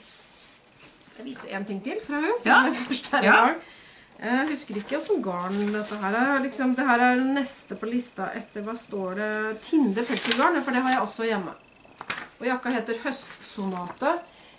Altså Når jeg ser sånne bilder, så tenker jeg ja vel, men når jeg så den i virkeligheten Den var så fin. Bare, og det er lommer, den er lang. Den er, jeg likte den så godt. Så det å, å se ting i virkeligheten er noe helt annet. Jeg har prøvd mange av jakkene, jeg, da. Ja. Jeg var jo mannekeng på Når jeg hadde var på Åndal i Molde, så var jeg Ja. mannekeng. Ja, for jeg tenker at eh, Når en sitter og ser ting, så er det ikke det samme som å se det i virkeligheten. Også. Nei, jeg driver og hekler en ting til ja, som ikke er helt ferdig med. Det tror jeg også visste på påsken. Det er jo en sånn kjole til. Den skal nå Jeg skal hekle en som er større. Fordi at, eh, Så hun har den neste år, hun der lille Bertha, da, vet du. Ja. Så nå skal jeg hekle i eh, rosa på den. Så derfor så ligger den nå og ikke er montert. Ja. Men det skal jeg hekle nå Ja. før jeg Før jeg kjører sørover ja. om 14 dager. Så driver du på med mer av mer? Du, jeg er ferdig med en ting til. Jeg kom på det nå. Jeg har skrevet det opp, fordi jeg kan ikke vise det fram. Fordi eh, det jeg har strikka, eller hekla, henger på et skilt nede i veien. Ja, ja, stemmer det. Ja. tenker- Jeg så den jeg kom. Ja, for jeg tenkte litt sånn eh, Skal jeg si det? Eh, men det er jo hvis ikke Vegvesenet ser på. Tror du Vegvesenet ser på? Ikke si det til Vegvesenet. Hvis de kjører forbi, ser de det jo. Men jeg har hekla Det er jo på en måte gerilja. Heklegerilja. Ja. Ikke heklegerilja, men geriljahekling. Feil. Det betyr at det er noe som kommer Jeg tror gerilja betyr noe som er uventa. Noe som kommer på uventa sted. Så jeg har hekla i rein akryl fordi det tåler vær og vind. Mm. I dobbeltgarn. En sånn billig Heslig, syns jeg, å ta i. Jeg får helt sånn der, jeg grøsser. Hvis du har litt sånn tørr hud, så henger det fast. Henger fast, ja. Men dobbelt tråd og heklenål nummer seks for å få store oldmorstruter og nok til å få det rundt skiltet. Det som er veldig gøy, det er at folk ser jo det her og er litt fascinert av det. Og jeg tok jo ned den gamle, for den så helt miserabel ut. Jeg har sånn før- og etterbilder. Men så får jeg ofte spørsmål sånn Men åssen får du det på skiltet? og nå ler jeg, for jeg tenker at uh, det er stygt å le, da, men da kan du ikke mye om montering, for å si det sånn. Jo, jeg, jeg napper opp skiltet, og så he det er en pølse, liksom. Eller jeg Ja, du skrur av tappen har trent ja, på. Ja, Ikke sant? Ja, du gjør det. Men da, hvordan gjør du det på eh, trea som er i gatene da? Ja, Tar du opp tre, da? Nei, men det er litt sånn, Nei, det det er uvitenhet, da. Ja, men det er litt morsomt, for folk bare Wow, åssen klarte du det? Men det som var litt flaks òg, var at denne gangen kom det ikke en eneste bil forbi. Det sier kanskje litt om stedet jeg bor på. Sto jo sikkert et kvarter med Med den. Ja, Hvis jeg skal avsløre åssen jeg gjorde det. Sydde, selvfølgelig. Eh, Men, eh, men det ble veldig fint, da. Og så var det litt sånn neonfarger. For det var det jeg hadde liggende. Eh, Det er ikke veldig pent, men det er litt, Litt morsomt, Litt morsomt. Ja. Morsomt, da. Har du mer du holder på med? Jeg må se på lista mi. Mm, nei, jeg tror ikke det. Jeg driver med denne her halsen, da, som jeg la opp til lue, som jeg ble altfor stor. Ja, Den driver jeg med. Den har jeg ikke strikka noe på. Men han ligger der, for den skal bli ferdig. Jeg tenkte jeg skulle ha sjøl. ja. Og så strikker jeg jo på skjerfet, da. Der har jeg ikke strikka Du har jo blitt sånn derre helpatent i to farger. Ja, det har vært, det har jeg fått dilla, men nå har jeg vært litt lite en periode nå, da. Men jeg la opp et sjal, for jeg fant et sjal på, på uh, Ravelry. Helt vanlig. Nå er vi ikke på patent eller sånt. Nei, nå er det vanlig. Og det syns jeg var litt morsomt. Nå, Hva heter det? ja, men jeg tok jo kanskje med meg sjal, ja. Det gjorde jeg, vet du. Det heter altså Nei, hva er det står? Kun, kunundrum. Scarflette. Altså, Scarflette. Syns jeg er litt morsomt. Det høres ut som skotsk-norsk. Så det, den er som Det er ikke så veldig lenge før jeg er på midten. Så det er egentlig et sjal. Tynt sjal. Men fantastisk fin. eh, Se på det garnet. Det garnet, Det er fra, fra Det Fortuna. er fra Fortuna, ja. Mhm. Skal vi se. Skal vi finne fram nøstet her, men det, Det lå inni det lå inni alt det andre, vet du. Nei, men det ligger eh, Jeg så du hadde den eh, her. Ja. Lappen ligger der. Jeg tenkte jeg skulle vise fram nøstet. Rosen kvarts. Fortunas merino. 100% merino. Mhm. 300 meter på 100 gram. Det er ganske mye. Så jeg tenkte jeg skulle strikke det litt lengre, da. Ja. Og så øker det jo Ja, jeg kan putte den nedi der, for det jeg er greit. Ja, den var kjempefin. Det er eh, det er sjalet jeg holder på med. Uff, jeg har så mye å holde på med. Og så måtte jeg jo ha meg en ny sommertopp. Ja. Det måtte du sikkert. Det må jeg ha, vet du. Ja. For nå har jeg begynt med sommerstrikken så vidt det er. Nå når sommeren er over. Jeg tenkte at vi er jo litt høyt på æra og viser fram Hvor har jeg blomsterbilder. Her har jeg ikke satt på sperrer, vet du. Og det er jo smart. Dette her var litt av en jobb å få til å stemme i starten, syns jeg. Det var mye jobb, men det var, gikk greit etter hvert. Skal jeg ta og finne det fram, hvordan den ser ut, den derre Den sitter fast i prosjektet ditt. Ja. Ikke napper ut eh, masker her. Er garnet. Unnskyld, jeg skal bare finne Mandarin. Medi fra Sandnes. Den Ja. henger ikke av seg selv med å holde sånn. Bare sånn dueblå. Ja, Mhm. den, jeg syns den var innmari fin. Der. Litt sånn som jeg Oi, sorry. Den syns jeg var innmari fin. Ja, enkel og fin. Enkel og fin, ja. Så den skal jeg nå, Det jeg gjør nå, er at jeg har veldig mye prosjekter på gang nå. Men det er fordi at jeg nå driver og gjør klart til jeg skal på tur. Eh, sørover. 14 dager så reiser jeg sørover. Skal være nedafor i 14 dager. Ja. Passe barnebarn. Fordi at mammaen og pappaen skal til USA. Så Derfor så har jeg veldig mye på gang nå. Men det er jo fordi at jeg Jeg liker ikke å ta med meg garn og pinner og starte når jeg har reist. Nei. Fordi at jeg liker å få kommet i gang og strikke. Så jeg for ser at det er rett strikkefasthet. Og. Mm. og derfor slipper jeg å dra med alle pinner og alt som er. Ja. Og det, det syns jeg er veldig ålreit. Ja. Vi gjør det sånn. Og så driver jeg jo alltid og strikker kluter, da. Det driver jeg jo. Jeg driver med noen nye design. Jeg har akkurat gjorde ferdig en i påsken. Det ja, er den var kunne jeg tenkt meg å strikke. Den, eh, den er, eh, har jeg hatt testing nå, så den er klar. Men det kommer en hel serie, da. Så jeg eh, skal ha testa den der Zalo-flaskevarmeren. For den kommer også i det mønsteret. Saloflasken mine får nok ikke pynt, men klut syns jeg var veldig kult. Så det blir, alle sammen blir Ja. Og så er dette den nye serien jeg holder på med, da. Det her er den jeg strikka 60 stykker av. Men nå justerer jeg den til kluter og håndklær og sånne ting. Så det driver jeg med nå. Nå strikker jeg Mhm. Dette er den andre kluten jeg strikker av den her. Ja. Så jeg tror ikke jeg tok, tok jeg med meg den andre. Er det rester av det du har strikka kjole? Det fine grønnfargene? Ja. ja, ja. ja. Utrolig fin eh, sånn lus grønnfarge. Her er den andre. Ja. Der er eh, kluten ferdig, da. Den første kluten. Så nå driver jeg og, og skal tegne diagram og sånn. Har konfirmasjonen vært? Så- Nei, er, den er til helga. Ja.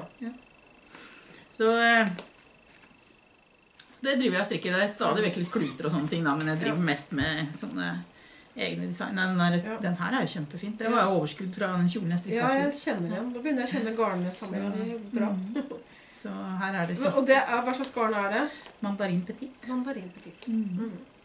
Så her er det, driver jeg og strikker og Jeg skal se om jeg har med den kurven. Kanskje jeg har det? Ja, det har jeg, vet du. Den kurven som jeg snakka om i stad, som jeg har strikka. Den har jeg her. Jeg skal strikke en til datteren min. Det er veldig godt å ha litt sånn bomullsgarn i hendene. Når det sitter med ull jevnt over.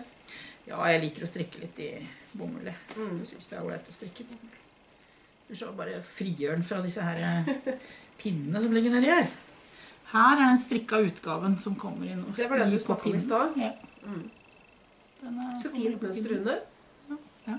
Som sånn lue Mhm. Det blir nesten enda finere inni. Altså hvis du Mhm. ser vranga eller retta, eller jeg vet ikke hva som er rett og vrang når det blir en inni. Sånn. Mm. Men det er fordi at den Hvis du har pads som er våte, så, kan, eh, så, så er det luft unnant det. Ja. Det er jo grunnen til at man har strikka sånn. Mm. Så det er ikke så vanskelig strikking. Nei, det er rett og vrang. Ja, det er rett og vrang. Så den kommer mønster i, i reste, eh, restehjørnet på pinnen. Det er neste gang. Det er den. Og det er de eh, padsa. Hvis noen lurer på hva Janne driver og reklamerer for nå, så er det Norsk Strikkeforbund. De er nevnt i hver episode. Ja. Hele tida. Ja. Så, eh, så de Det blir neste, neste på pinnen, ja. Så nå er jeg, driver jeg med den på pinnen etter det igjen. Og det er litt sånn småtteri, da, som er eh, restehjørnet. Da er det sånn små, bitte små rester. Jeg tenkte jeg skulle vise fram en bok, fordi jeg glemte det i stad da jeg viste den setesdalskofta. Jeg tenkte jeg skulle strikke noe sånn klassisk, og da tok jeg fram en bok. Jeg tror jeg fikk en, en av de, jeg vet ikke hvor mange ganger jeg meldte meg inn i familien, eller jeg blitt abonnent. Da fikk jeg den her, Norsk strikk. jeg vet ikke egentlig hvor Hvis jeg hadde gått gjennom alle mønstrene og bøkene mine, så hadde jeg sikkert hatt ganske mange mønster på Setesdal f.eks. Eh, men her har du liksom de klassiske. Det er litt vanskelig å vise fram uten at alle tekstene og diagrammene og sånn er med, men dette her er vel sånn som ligger skanna, var det ikke det? Noe av det. Jo, noe av det ligger skanna. Her er det drøssevis med de eh, ja, elementære Hva skal jeg si? Kulturskatten vår, da. Eller som egentlig ikke er så norsk, men det, det er jo så. Mm. Ja. Og så har jeg jo driver jeg hekler litt større kurv, da. Enda mer kurver jeg trodde. Ja, her hekler jeg jo bare den. jo. Den lille kurven der, eller Ja. den lille kurven her, den hekler jeg jo bare nå i litt tynnere garn. Ja. Eh, og dobbel. Og den har jeg hekla da, tror jeg, opp mot Skal vi se. Kunne vært en Tror det er én, to, tre En, to, tre, fire Fem masker imellom hver økning Mm. har den der. der. Så da blir den så stor. Mm. Det kan bli en halv kalv. ja. Så den eh, også driver jeg og hekler på. Eh, jeg har flere ting jeg driver og strikker på. masse her. Så jeg, egentlig så kunne du sikkert strikka hva som helst. Jeg Ja, du har masse spennende på bordet som ikke vises. ja, Skal jeg hjelpe deg å holde opp, eller tar du det ene igjen? Eller ene, altså puljer, kanskje? her. Hva, hva er det egentlig? Hva er det? Hva tror du det er? Ja, litt vanskelig å se. Hva tror du det her er? Oi, det er maskemarkører. Yeah. Det var, litt, eh, lit, det var en liten, liten eh, ring og så masse annet. Var det litt vanskelig å se? Vi skal ta igjen, vet du. Hjemmelaga. Hjemmelaga maskemarkører. Dette her er restehjørnet i neste Ja. pinnen etter der igjen, at til Norsk Strikkforbund. Ja. Det her er en maskemarkør. Det er en ring i toppen, og så er det restegarn. Mm. Og så er det en liten sølvtråd i bånn som du fester det sammen. Dette er tvinna, Ja. så dette her er maskemarkører. ja. Eh, som henger på den her. Og Som det er en fisk. maskemarkør holder. Det er en maskemarkør holder. Ja, det er bra en, inne i strikkestæsj for å det er en fisk. Den ser sånn ut. Ja. Og den kan du også bruke til en motivasjon. Den som sitter i enden her. Motivasjon. Ja, sånn at du Sånn, som du måler henger på Ja. der du har. Så du Ja, ja, kan bruke den, til, den kan du også bruke til det. Derfor så er den forholdsvis liten, den der, ja. den der, der. For der ser du at eh, jeg har jo litt større av de der der. Der har jeg maskemarkør. Det er litt større sånn der eh, til å henge på. Dette her er faktisk vevstrikk. Den der. De her er Og opp i påskevloggepisodene Ja. her Er striper. Ja. Og litt forskjellig. Ja. Så en gul fisk. Og her er det fletta maskemarkører, ser du. Ser du det? Her er det fletta. Ja. Dette her kommer i neste på pinnen. Dette her er den, de der bitte, bitte små restene som vi har igjen. Som vi egentlig ikke kan bruke til noen ting. Som eh, kan være fine til maskemarkører. ja. Og det var også med i påskevloggen, ja. Så Det er litt også noe jeg morsomt når man vet hvor mye garn du har. Mm. At du, samtidig som du har ekstremt mye, så tar du vare på hver minste bitte, bitte, bitte, bitte. ja. Det er ikke store biten da, som går Nei. til en sånn, Nei, det sånn en. Det er ikke det. Det er ikke mye. Jeg vet ikke om du, Nå sitter jeg og tenker på en fin overgang til neste punkt. Og når du holder opp den fisken, hva tror du jeg kanskje begynner å minne deg på nå? Jeg vet at du er ikke ferdig. Ja, med mat. Det begynner å lukte fisk, men du er ikke helt ferdig. Nei. Her har vi fisken. Du, du har kommet med i forkjøpet, du. Her har vi en motivasjon. Ja, ja, det, er Det er så veldig greit å ha den hengende foran, for da vet du at du skal felle. Dette Ja, er for eh, du skjønner at det her tenkte jeg Det nytter ikke for meg å overraske deg, vet du. Det nytter ikke det. Du Det er jeg på meg. Men for å si hva det er, da. Det er eh, Ja. domino. ja. Hvis noen så episoden min fra, med Tina på Husfest Ja. eh, i Kristiansund, så vet de hvor det Men fru- Strikk driver også sånn. Ja, det er liksom i Molde, tror jeg de holdt på. Og vi hadde jo dette som inspirasjon i helga, men da Ja. hadde vi med hullmønster. Ja, Men den glemte jeg å ta med meg. Så det kan ja, jeg ta ja, med senere. ja. Mm. Men det der med de hjertene syns jeg var så fint. eh, ja, det er appellerte veldig til meg. Ja, den tror jeg skal Og så satt jeg og strikka på et, da. Men det er bare firkanter, da. Ja, Dette er men det kjempefint. Det her er finhull. Det andre er jo superwarscorn, og eh, det er mye karisma, Ja. som er bit, enkle biter. Og så er det tasseladd fra Skal vi se Tasseladd. Jeg hørte at de skulle slutte med tasseladd. Ja, og den, eh, det er fra et teppe. Ja. Men jeg hadde så mye igjen Mm. at jeg fant ut at da kan jeg Jeg holder i hvert fall til et sånt teppe. ja tasseladd er rauma. Det er rauma. Mm. Det er sokkegarn. Det er det Ja. samme som treskogarnet. Ja. Mm. Ja, ligner på det. Mm. Men dette er finull, og dette her strikker jeg i hele biter. Mm. For at det her har jeg mye store biter igjen. Ja. Og her har jeg festa litt tråder, som du ser. Har du tenkt noe på farger? eh? Nei, her strikker jeg bare de fargene jeg har. Ja. Og her også har jeg en sånn eh, til henge, for det er veldig ålreit å ha en sånn hengende på forsida. Ja. Fordi at da ser du at det der skal du felle. ja. For du feller på rett. Men jeg feller ikke som alle andre. For alle andre tar av én og strikker to sammen. Mhm. Jeg tar av to og strikker én sammen og drar over. ja. Fordi at da får du ikke Si det en gang til, Janne. Du er Så rask. sier jeg- Det blir sånn. Du ser ganske stor forskjell på det. Fordi jeg tar av to masker akkurat som jeg skulle Altså strikke slipp, dem. slipp nytt, da, Ja. Slipp, slipp. Ja. Og så strikker jeg, så drar jeg over. Og sånn, ja, mm. ja. Fordi at når du drar over én maske, så blir den maska stor. ja. Men drar du over to samtidig, så blir den ikke stor. Så hvis du ikke vil ha så tydelig markert midten, Så, så får du en Ja. eh, finere når du gjør sånn. Det spørs hva man liker, da, Det spørs hva man liker. Mhm. Nå er jeg snart ferdig med en til, så den her bare strikker jeg på. Mm. Dette her skal bli en sånn teppe som er den veien. Men nå har jeg begynt hjemme og skal strikke en som er sånn. Hvis man ser på sånne amerikanske podder, og en del norske også, driver de med sånn cozy memory blanket. Har du hørt om det? Ja. Det er når folk strikker veldig mye sokker, så har de sokkegarn igjen, og da er det gjerne sånn håndfarga. Og da lager de bare Det blir mindre, da, fordi du har gjerne bare en liten sånn Du kan jo strikke striper òg, da. Ja. Så det kan du gjøre. Og du kan strikke Dette her er jo 30 masker på Det pinne første gangen jeg var på Husfliden i Kristiansund, så viste hun meg hva det Nei, fru Strikk eh, fra Molde som var i på Averøya. Hadde strikka den. Nei, og også hun Mhm. Ja, ja. Kristiansund. Den ytterste der, ja. De siste fire-fem omgangene i en annen farge. Da får du brukt opp litt som sommerhårbiter. aksent. ja. Jeg likte hjertene enda bedre. Jeg liker ting som er litt Men mer her er det vanvittig mye forskjeller. Ja. Du kan strikke i mange forskjellige. Bare gå inn på YouTube og se. Det Ja. er enorme mengder. Dominostrikk Dominostrikk. er stikkåret, da. Mm. Og det er også en dansk lærebok av en dame som jeg aldri husker navnet på. Som dere kan høre i Så det er kjempebra. Det sitter jeg og strikker på stadig. Husflid-episoden min. Så dette her har vært sånn eh, Dette her har vært eh, krim i påsken. Ja, Så mye krim har det vært i påsken. ja det, Og så driver jeg med et uh, teppe her, da. Du er ikke ferdig ennå. Du Dette her er. Norsk Strikkeforbund sin Men du sa eh, du hadde ikke så mye, du hadde ikke så mye vis fram i dag, sa du. Nei, jeg har ikke det. Nei, jeg hadde ikke det. Og den, nå har jeg sydd sammen alle bitene, Å, så så nå, lekkert og blei. nå blir det Det her likte jeg. Jeg liker sånn når det er litt eh, forskjellige. ja, Nå har jeg strikka en nøytral lapp mellom alle lappene. da. Ja. Det er det jeg har gjort nå. Nå skal jeg strikke en kant rundt. Og Jeg har prøvd å strikke litt, men jeg, ikke, jeg blir ikke helt fornøyd. Så jeg vet ikke helt hva jeg skal gjøre. Jeg lurer på om jeg skulle strikke litt forskjellig sånne smålapper, men problemet er at de er Du er- ser dem er, det er forskjellig størrelse Ja, på det er forskjellige folk som har strikka det her og sendt det inn. Ja, så Ja. centimetermålet er ikke Folk har ikke brukt samme Alta og i. Oslo. nei, nei. Så, så nå har jeg prøvd å strikke og justere det slik Ja. at det blir rett. da. Så kanskje det er noen som ser på, som ser lappen sin akkurat nå. Mhm. Ser du lappen din, så kommenter gjerne under. Det har vært morsomt. Så dette skal bli et svært teppe. Ja. Så her skal jeg, men jeg lurte på om jeg skulle strikke domino i enden. eller om Jeg skulle strikke, men Mm. jeg tenkte jeg skulle strikke en litt sånn brei ikke i-cord, men en brei kant rundt, så jeg Ja. rammer inn, og så strikker jeg noe på utersida. ja. Så det får litt større. Kjempefint. Så litt spennende. Ja. Er et sånn langtidsprosjekt. Mm. Så nå er det, det som, det, den kanten her, det skal være med neste på pinnen. Så det, det er noe jeg skal jobbe med nå framover. Har jeg mer da? Jeg har jo tenkt at jeg skal strikke noe sånn dominoteppe, men jeg har bestemt meg for å prøve å gjøre ferdig f.eks. primula-teppe. Og det er tiltak.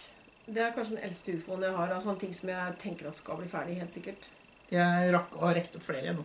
Balaklavaen rakk jeg opp. Gjorde det, ja? Ja. Ja. Gadd ikke mer. Nei, Det passer ikke meg, det der greiene der. nei. Jeg tror ikke ungene vil ha det heller. Nei, da. nei, det som ligger liksom sånn rundt uh, Ja, nei, ja. så... Jeg har jo også med meg noe nå, Det lukter altså så fisk her nå at det er et tegn på at uh, Vi bør eh, vi komme oss og spise fisk, ja. Ja, men se her. Jeg må lene meg langt fram. I påskekalenderen min fra Britt Strikkenerd så lå det noen sånne Smånøster, ja. ja, sånne minihesper fra Nina Petrina. Som egentlig Britt er jo snill, da. Der var jo hennes adventskalender eh, fra før jul. Og så har jeg fått resten av det. Jeg føler meg jo eh, Ja, kult. Helt sånn. Og disse her passer ikke så bra inn i sjalet. Men vet du hva jeg har liggende fra før? Sjekk det her, da. Nei. Passer jo kjempebra. Det er jo Nina Petrina, så jeg regner med at det er den samme basen. Det har jeg glemt å sjekke, da. Det er sikkert tynn lammull, er det ikke det? Tynn norsk lammull. Det er det samme. Så jeg tenker at hvis jeg hadde hatt mer eh, hvit, eksempel, eller natur, da, så kunne jeg fletta det her inn. Den kunne vært mest også dissa litt. Vel Et sjal eller Så det var helt perfekt. Takk igjen, Britt. Du er en knupp. Eller, og jeg hadde litt flaks. Det er én ting jeg glemte å vise fram. Forresten, Jeg sa du måtte minne meg om at det lå en bag. Jeg tenkte jeg tok det ikke ut, for se her var jeg vant på 20-årsjubileet. Det har jeg også glemt å si. Sånn er jeg jo. Averøy husflidslag. var Det står Møre og Romsdal husflidslag. Det her var en premie. Jeg har begynt å vinne. Jeg har stort sett veldig dårlig vinnerlykke. Men i siste har jeg vunnet både her og der. Eh, Jeg vant eh, på Averøy husflidslags 20-årsjubileum. Jeg var med da de hadde stiftelsesmøte. Og jeg tror kanskje jeg har vært på en fem-seks møter bare på de 20 åra. For jeg har fått fire barn i mellomtida. Eh, Så det Jeg har ikke prioritert så mye.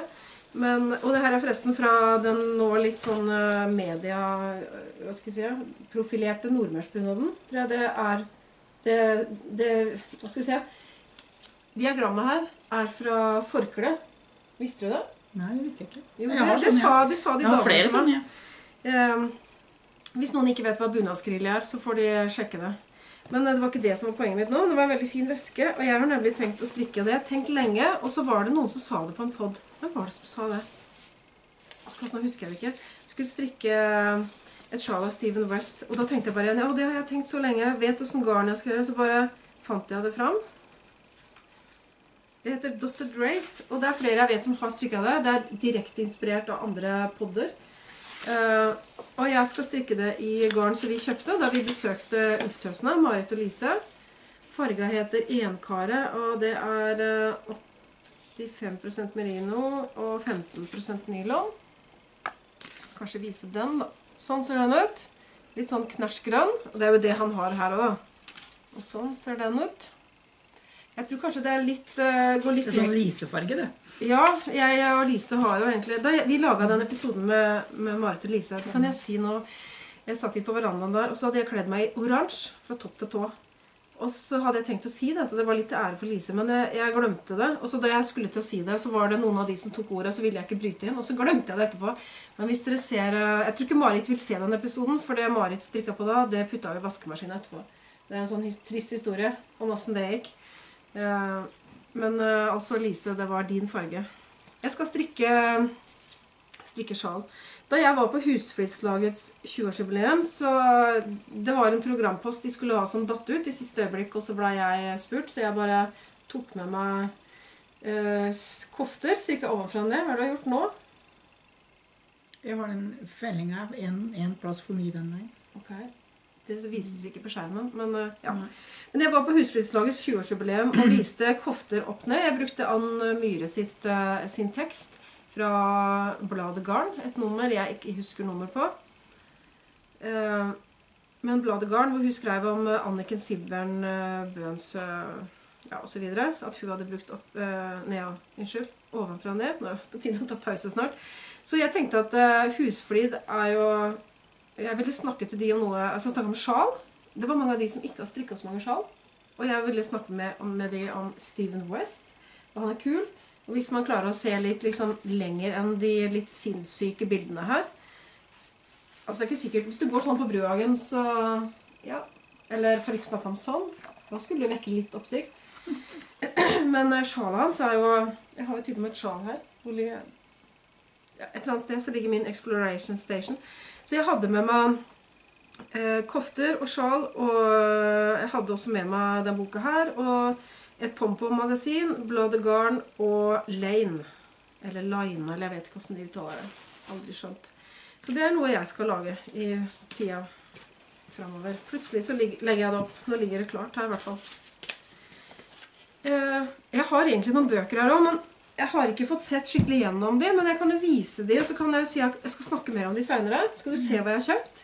Traditional Knitting in North Russia. Jeg har aldri åpna den boka. Jeg bare så den på nett og tenkte det må jo være kult.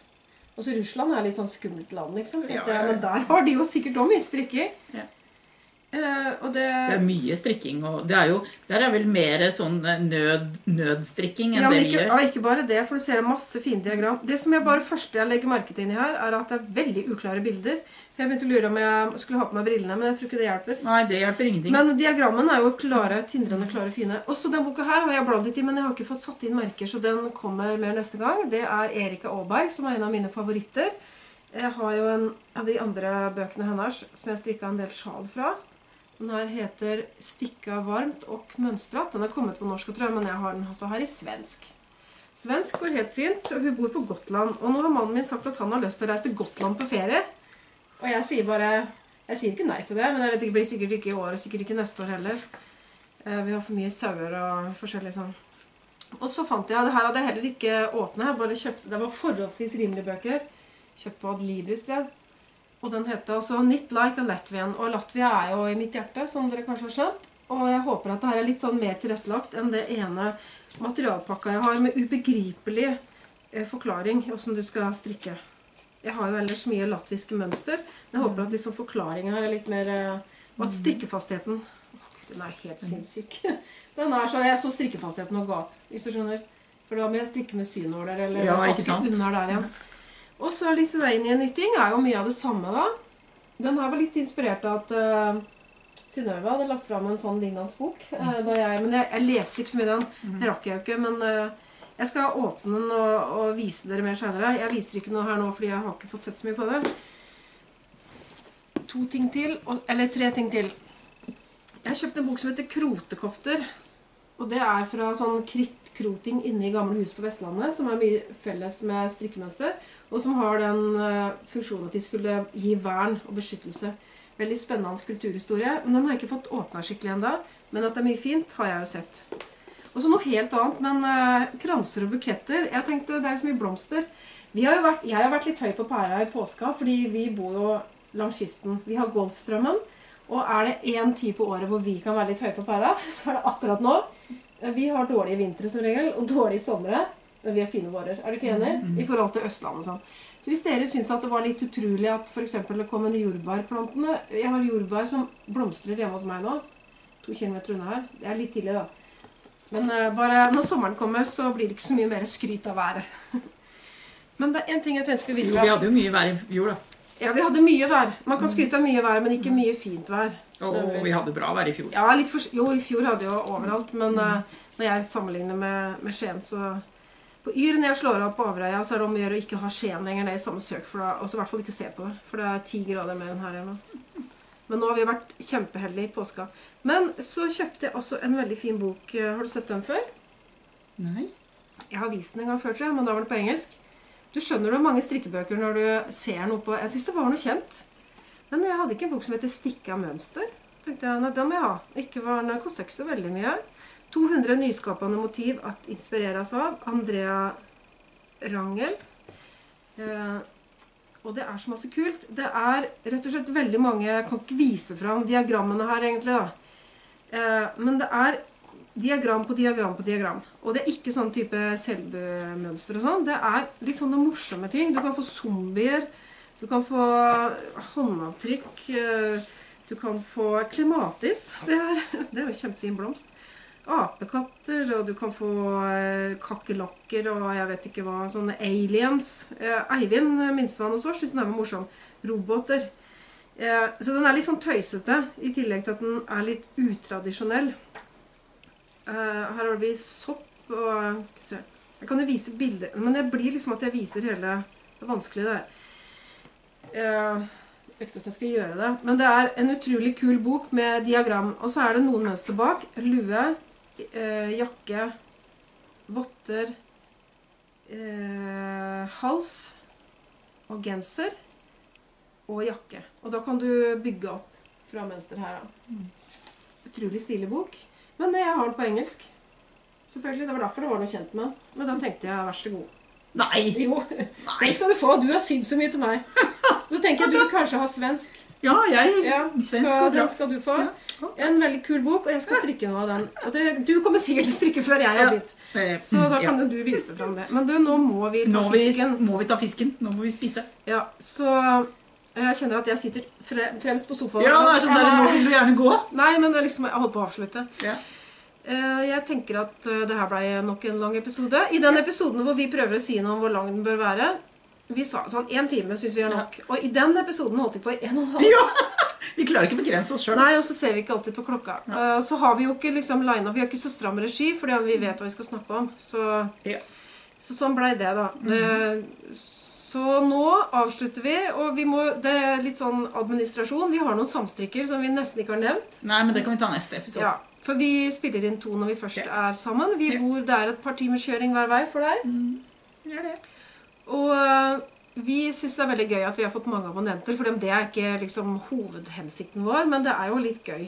Det er gøy. det- Men vi koser oss med å gjøre det, da. ja, det er jo det men vi det gjør. er jo arbeid og påska, og ikke minst jeg satt og redigerte alle disse påskebloggepisodene. Det var veldig veldig, veldig mange små kutt. Som, det var min feil. Ja, det er en måte jeg hører gjennom. fordi jeg satt ut, jeg drev ut, og så drev en, lå gubben på sofaen og sov, og han snorka så voldsomt. Så jeg måtte høre gjennom til episoden før jeg sendte den over. Jeg hadde ikke alltid sett alle dine klipp før jeg kjørte inn i mitt, og så så jeg det når det lå på lufta. Håpa at du ikke hadde gjort noe helt horribelt. Da lo jeg godt, altså. Ja, ja. Litt bakgrunnslyd kan jo være fuglekvitter og snorking og sånn.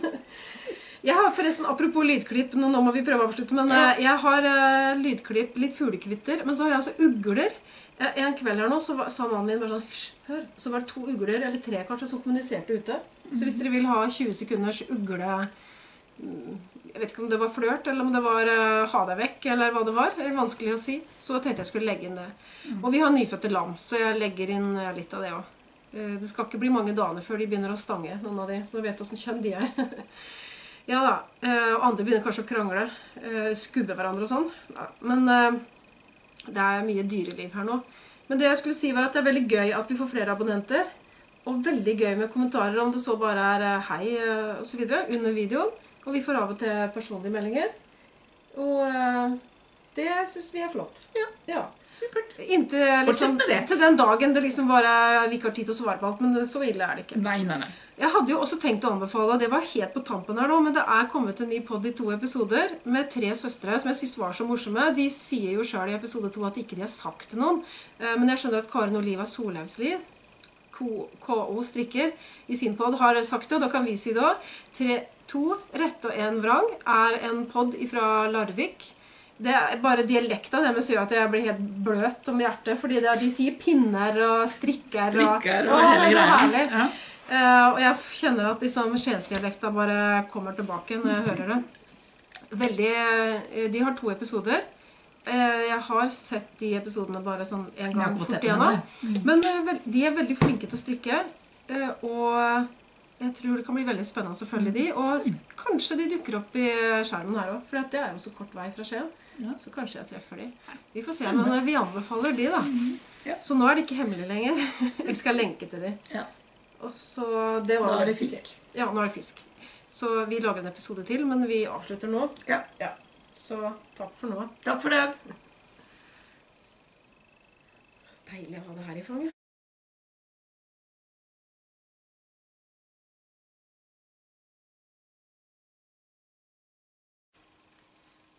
Jeg skal nå begynne å strikke på to kofter. Og jeg tenkte at jeg skulle forklare litt og tenke litt høyt, sånn at dere kan følge prosessen. Fordi jeg har skjønt at noen synes det er interessant å høre eh, og få med seg tips på sånne ting som man kanskje aldri sier høyt fordi man tenker at alle kan det. Jeg skal strikke to ting. Jeg skal strikke damejakka Loppa. Her er min utskrift med tidligere kommentarer. Jeg strikka den før. Og jeg skal strikke et Rauma-design som heter Anna-jakken. Jeg tenkte jeg skulle si litt om eh, Loppa først. Det er Ann Myhre som har det mønsteret. Og jeg har strikka det flere ganger, og det er en fordel. Fordi da kan jeg se tilbake på hva jeg har gjort.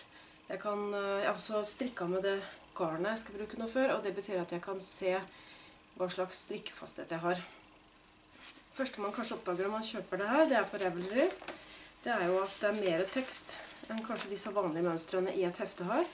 Eh, Det kan være en fordel hvis man ikke har strikka så mye før, fordi her får man Altså det står mer utfylt. Det er ikke så komprimert. Det tenker jeg er en, absolutt en fordel. Hvis man har strikka veldig mye, så trenger man jo ikke å, å, å lese så detaljert, kanskje. Bare følge diagrammet mest. Eh, Den da strikkes ovenfra og ned. Og jeg har vist eh, de andre en del ganger før, så jeg gjør ikke det nå. Men jeg tenkte jeg skulle vise dere. Jeg skal strikke i telespinn. Det har jeg også vist før. Jeg har ganske mye garn. Dette her er mer enn jeg trenger sånn i forhold til antall farger. Men jeg har tatt fram de, og jeg er ikke helt sikker på akkurat hvordan jeg skal velge. Fordi det har jeg tenkt å improvisere underveis. Jeg kanskje ikke anbefale hvis du ikke har strikka mye mønsterstrikk før. Hvis dere ser på bildet her, det er kanskje litt gammel. Jeg tror kanskje mønsteret har blitt oppdatert, men uh, dette her er et bilde. Det er altså en uh, rundfelling, eller øking. Em, det er mønster oppe på bærestykket, og så er det litt mønster ned på armene og nederst på bolen. Og de bordene fins i veldig mange forskjellige fargeforslag. Det er fint også med det mønsteret her. Det er vel 1, 2, 3, 4, 5 forskjellige forslag. Nå har ikke jeg tenkt å følge det slavisk. Jeg tror også jeg skal ha flere farger, så jeg kommer til å legge inn litt. Det har jeg gjort før. Men det jeg gjør når jeg velger farger, er at jeg passer på at det lyse blir lyst, og det mørke blir mørkt. Hvis ikke så får man ikke så god kontrast. Eh, Når jeg la opp Her begynner jeg jo ovenfra. Dette her ser jo ikke ut som det kan bli en hals til meg, men det går helt fint når jeg får strekt det ut. For å eh, Forresten, garnet her er eh, mohair fra telespinn. Kanskje dumt å vise den var litt blass. Det er mohair med litt ull i. Det er ikke så tøyelig og spenstig som vanlig rein ull, men eh, jeg liker det veldig godt fordi det er blankt og sterkt og fint. Og veldig fine farger. Eh, Jeg strikker på pinne 2,5 og 3, fordi det vet jeg at jeg kan. Men det må man jo, da må man strikke en liten prøvelapp eller eh, et eller annet og regne ut litt sjøl. Men jeg har gjort det her før, så jeg vet om det. Det står jo hvor mange masker jeg skal legge opp, og da pleier jeg med sånn garn som det her, som er sånn ca. pinne 3, så pleier jeg å regne Hvis jeg tar tråden sånn, og så ned til albuen, det er ca. 20 masker. 40, ups, 60 osv. Og så tar jeg gjerne litt ekstra. Og det pleier å gå bra, men hvis det er veldig mye tjukkere garn, så må man regne litt mer. Eh, Så legger jeg altså opp, og så har jeg strikka en vrangbord. Økt litt, sånn som det står. Og nå har jeg skifta til eh, tjukkere pinne. Og lagt inn eh, en maskemarkør der omgangen begynner, og lagt opp sju nye masker som jeg skal klippe i. Her kan jeg ikke gjøre noe annet enn klipping, fordi mohair eh, er så glatt at jeg må klippe. Når jeg har stikka det her før, så har jeg oppdaga at eh, halsåpningen blir litt vid. Så det jeg har gjort nå, er å gå ned noen størrelser, faktisk flere, fordi de øverste størrelsene hadde samme maskeantall. Så jeg har strikka litt færre masker oppe, men jeg skal øke sånn som jeg skal likevel til den rette størrelsen når jeg kommer litt lenger ned på bolen. Det er jo nå moroa begynner, da, når jeg har fått på en farge til. Og nå Dette her er gøy. Det er litt sånn når man skal øke så mye på starten, så blir det litt sånn plundrete og hardt, kanskje, i en omgang eller to. Men, eh, men det, det må man bare leve med, da. Jeg har tenkt at jeg da skal, etter hvert som jeg strikker mønsteret nå, velge fra de fargene her. Grønt og grått, lysegrått. eh, Og den her skal jeg helt sikkert ha. Det her skal være min hovedkontrastfarge, så den skal det egentlig være mest av når jeg kommer ned ved bolen. Eh, Jeg skal ta og filme litt eh, underveis, så dere får høre litt på senere. Her blir det bare små klipp. Men jeg har lyst til å strikke en ting til. Og den har jeg allerede begynt på. Skal vi se om jeg får med meg alt. Det altså er eh, helt annen konstruksjon, og det var litt derfor jeg tenkte at det kunne være greit å gjøre det samtidig. Jeg strikker gjerne to kofter samtidig. Det er ei jakke som heter Anna-jakken, som er fra det nyeste heftet til Rauma. Og det er tretrådsgarn. Det er ganske tjukt. Og her eksperimenterer jeg ikke med farger. Her bruker jeg fargene sånn som de står. Og det er ganske liten kontrast, men jeg syns det var veldig fint. I stedet for å strikke prøvelapp Nå har jeg strikka mye med tretråds, da, men jeg begynner gjerne på en arm. Eller erm. Så her med en sånn rullekant Dette her er det samme som jeg viste fram på husfliden. Jeg har ikke gjort noe på det etterpå. Her er en rullekant. Og så har jeg begynt på mønsteret, som det er tre farger i. Sånn. Jeg gjorde en liten miss på den nederste. Jeg forveksla fargene, men jeg tenkte at det er like greit. Det er bare nederst her, og så må jeg gjøre det likt på de andre. Jeg er ikke så slavisk i forhold til mønsteret, men ellers skal jeg følge det sånn. Det her blir en tjukkere jakke enn det andre. Eh, Og jeg strikker begge to i litt romslige størrelser, fordi at jeg vil at jeg skal kunne ha andre klær under. Dette er eh, Husker ikke hvilket nummer på størrelsen. Nei, men det kan jeg ta etter hvert og se. Eh, Så sånn blir det. Nå får dere følge med. Her er altså et erme. Jeg begynner på et erme i tilfelle jeg ikke syns det ser bra ut med størrelsen. Nå har jeg prøvd det på. Det ser greit ut. Litt vid nederst, men sånn blir det jo med rullekant. Liker veldig godt de fargene her. Syns det er en fin kombinasjon. Og jeg hadde ikke kommet til å tenkt på den kombinasjonen sjøl, og da er det gøy å strikke det noen ganger, og ikke bare ting jeg finner på sjøl. Så nå får vi se hvordan det går. Strikke strikker fra helt motsatt side av prosjektet. Eh, og jeg kommer til å strikke litt på det ene og litt på det andre. Så får dere følge med. Altså Rauma tretråds og telespinn mohair. To forskjellige jakker. Fortsettelse følger. Ja, nå har jeg tenkt å vise dere litt hvordan jeg jobber når jeg strikker forskjellige kofter.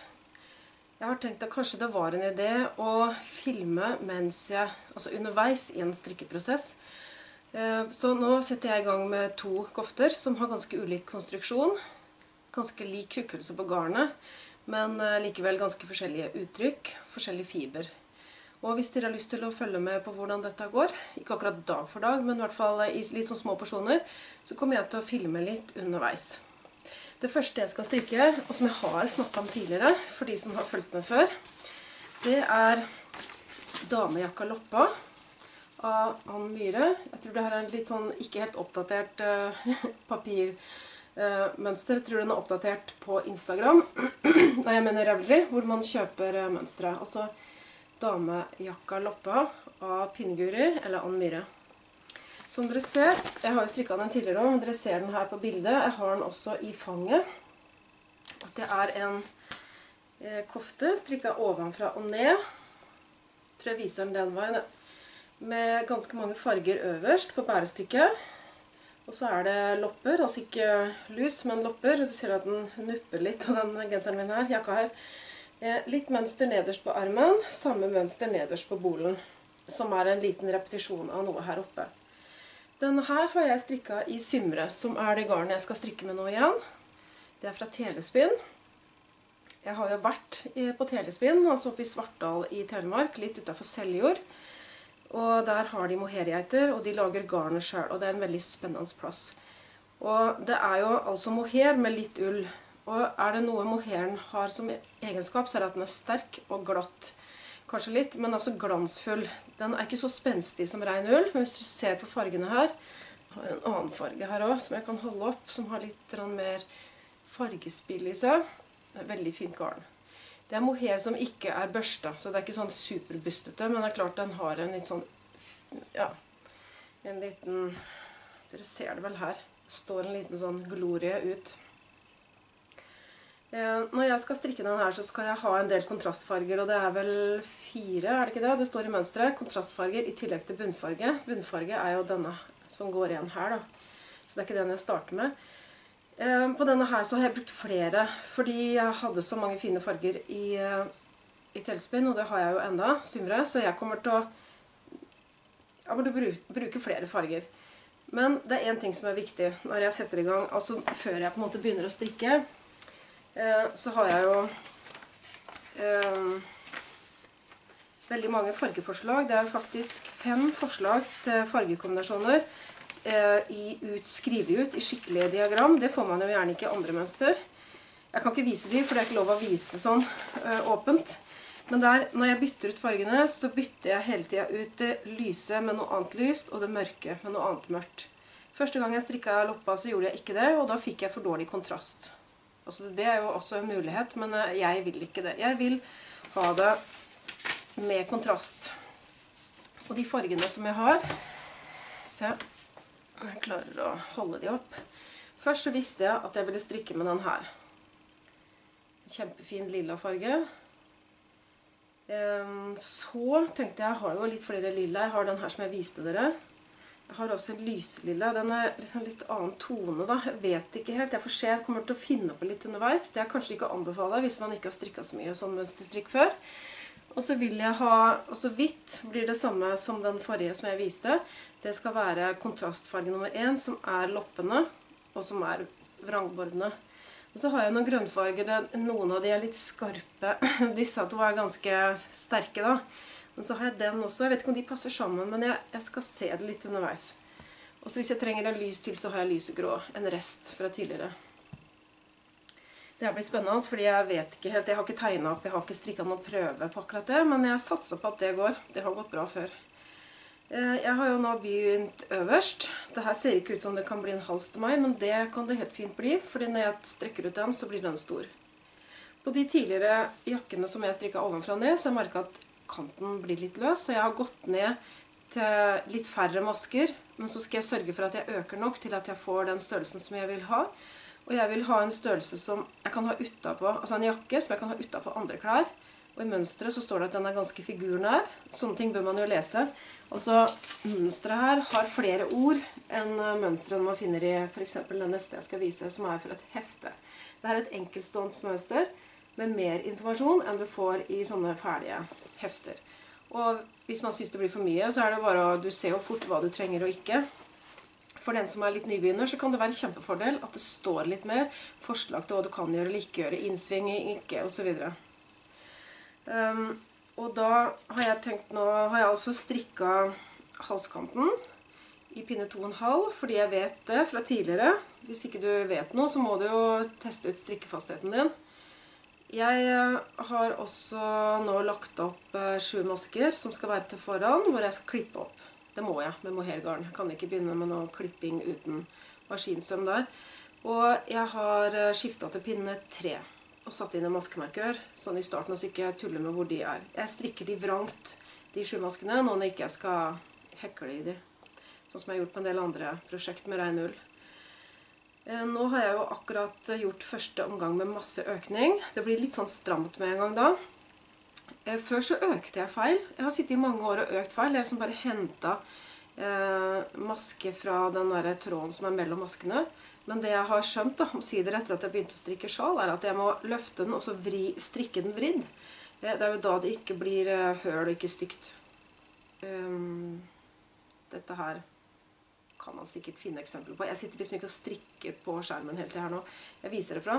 Og nå har jeg bestemt meg for å begynne med den. Og det er vel faktisk den fargen jeg begynte med her òg, når jeg tenkte meg om. Jeg skal også ha noen forkorta rader oppi i, øverst i halsen her. I nakken, mener jeg. Så eh, får vi se hvordan den blir. Den blir jo ikke helt ulik den her. Men den blir jo mye kaldere farger, siden det er mørke lilla som blir hovedfarge. Men jeg liker den her så godt at jeg vil strikke en til.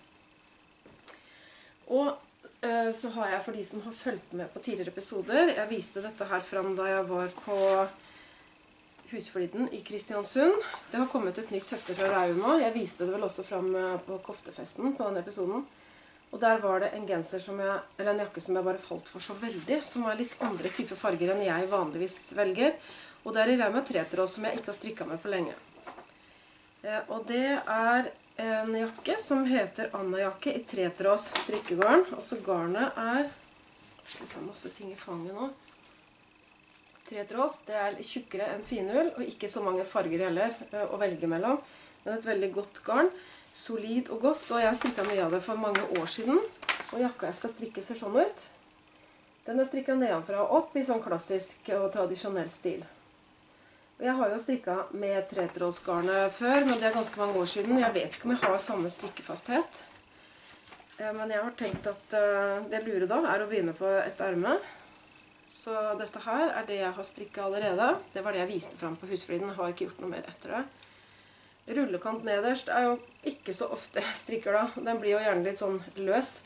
Eh, Men jeg kan nå stikke handa inni og ser at det her er greit. Den er litt romslig, men det, den er jo litt kul. Litt sånn volangaktig. Så oppdaga jeg da jeg begynte på mønsteret at jeg hadde snudd om på fargene i den aller nederste eh, borden. Men det bryr jeg meg faktisk ikke noe om. Jeg skal bare passe på at den blir lik hele veien. Ellers er det rett. Og det er mye mindre kontrast her. Hvis dere ser på de fargene her. Eh, Men jeg syns det var så delikat og fint. Litt sånn feminint, og, men tjukt. Eh, Når det gjelder størrelse her, så strikker jeg begge jakkene i en størrelse som blir så stor at jeg kan ha den utapå andre ting. Som en slags ja, utapåjakke. Eh, Men her blir det en helt annen konstruksjon. Strikker ermene, strikker bolen og setter må jeg tenke meg om. Egentlig burde man jo kanskje skumme mønsteret litt mer enn jeg har gjort. Setter de inn på ett stykke og strikker raglan. Ja. Det er rullekant på bolen nå, ser jeg. Eh, Men det jeg tenkte nå, det jeg gjør, er at eh, jeg setter i gang. Her har jeg begynt på et erme, her har jeg begynt på, på en halskant. Så strikker jeg litt, og når det ikke har gått så altfor lang tid, så skal jeg filme litt mer, og så skal jeg si hva jeg gjør og passe på og sånn underveis. En ting som jeg kan si da, når jeg legger opp til det Dette her er jo ikke så kjempemange masker, men det er mange nok til at det er irriterende hvis man ikke har nok garn. Det spørs jo på oppleggsteknikken, da, men jeg bruker den når jeg lager sånne løkker. Og da har jeg en sånn hovedregel at jeg tar eh, Dette her er jo sånn ganske tynt garn, men det pleier å gå hvis jeg måler herifra og ned til albuen min, så er det ca. 20 masker. Så 40 og 60 Dette her pleier jeg å gjøre, og så tar jeg kanskje litt ekstra, og da pleier jeg aldri å få for lite. Det er særlig hvis man skal legge opp veldig mange masker. Men klart, hvis garnet er mye tjukkere, så går det også mer garn til samme antall masker. Så vil ikke trenge så mye garn med dette garnet. Det var litt dårlig formulert, men jeg håper dere skjønte hva jeg mente. Um, ja, da er det bare å strikke, da. Jeg har jo gjort ferdig de to koftene som jeg holdt på med, og som jeg delvis er ferdig med påska og delvis nå etterpå. Så nå er det fritt fram for neste. Og jeg tenker at jeg skal ha de sjøl, men kanskje jeg gir de bort. Jeg, jeg vet ikke helt. Men eh, jeg strikker det jeg syns er fint, og jeg strikker i min størrelse. Det er av og til mora mi da, som ender opp med det. Ja, men da får vi bare se åssen det blir videre. Fortsettelse følger.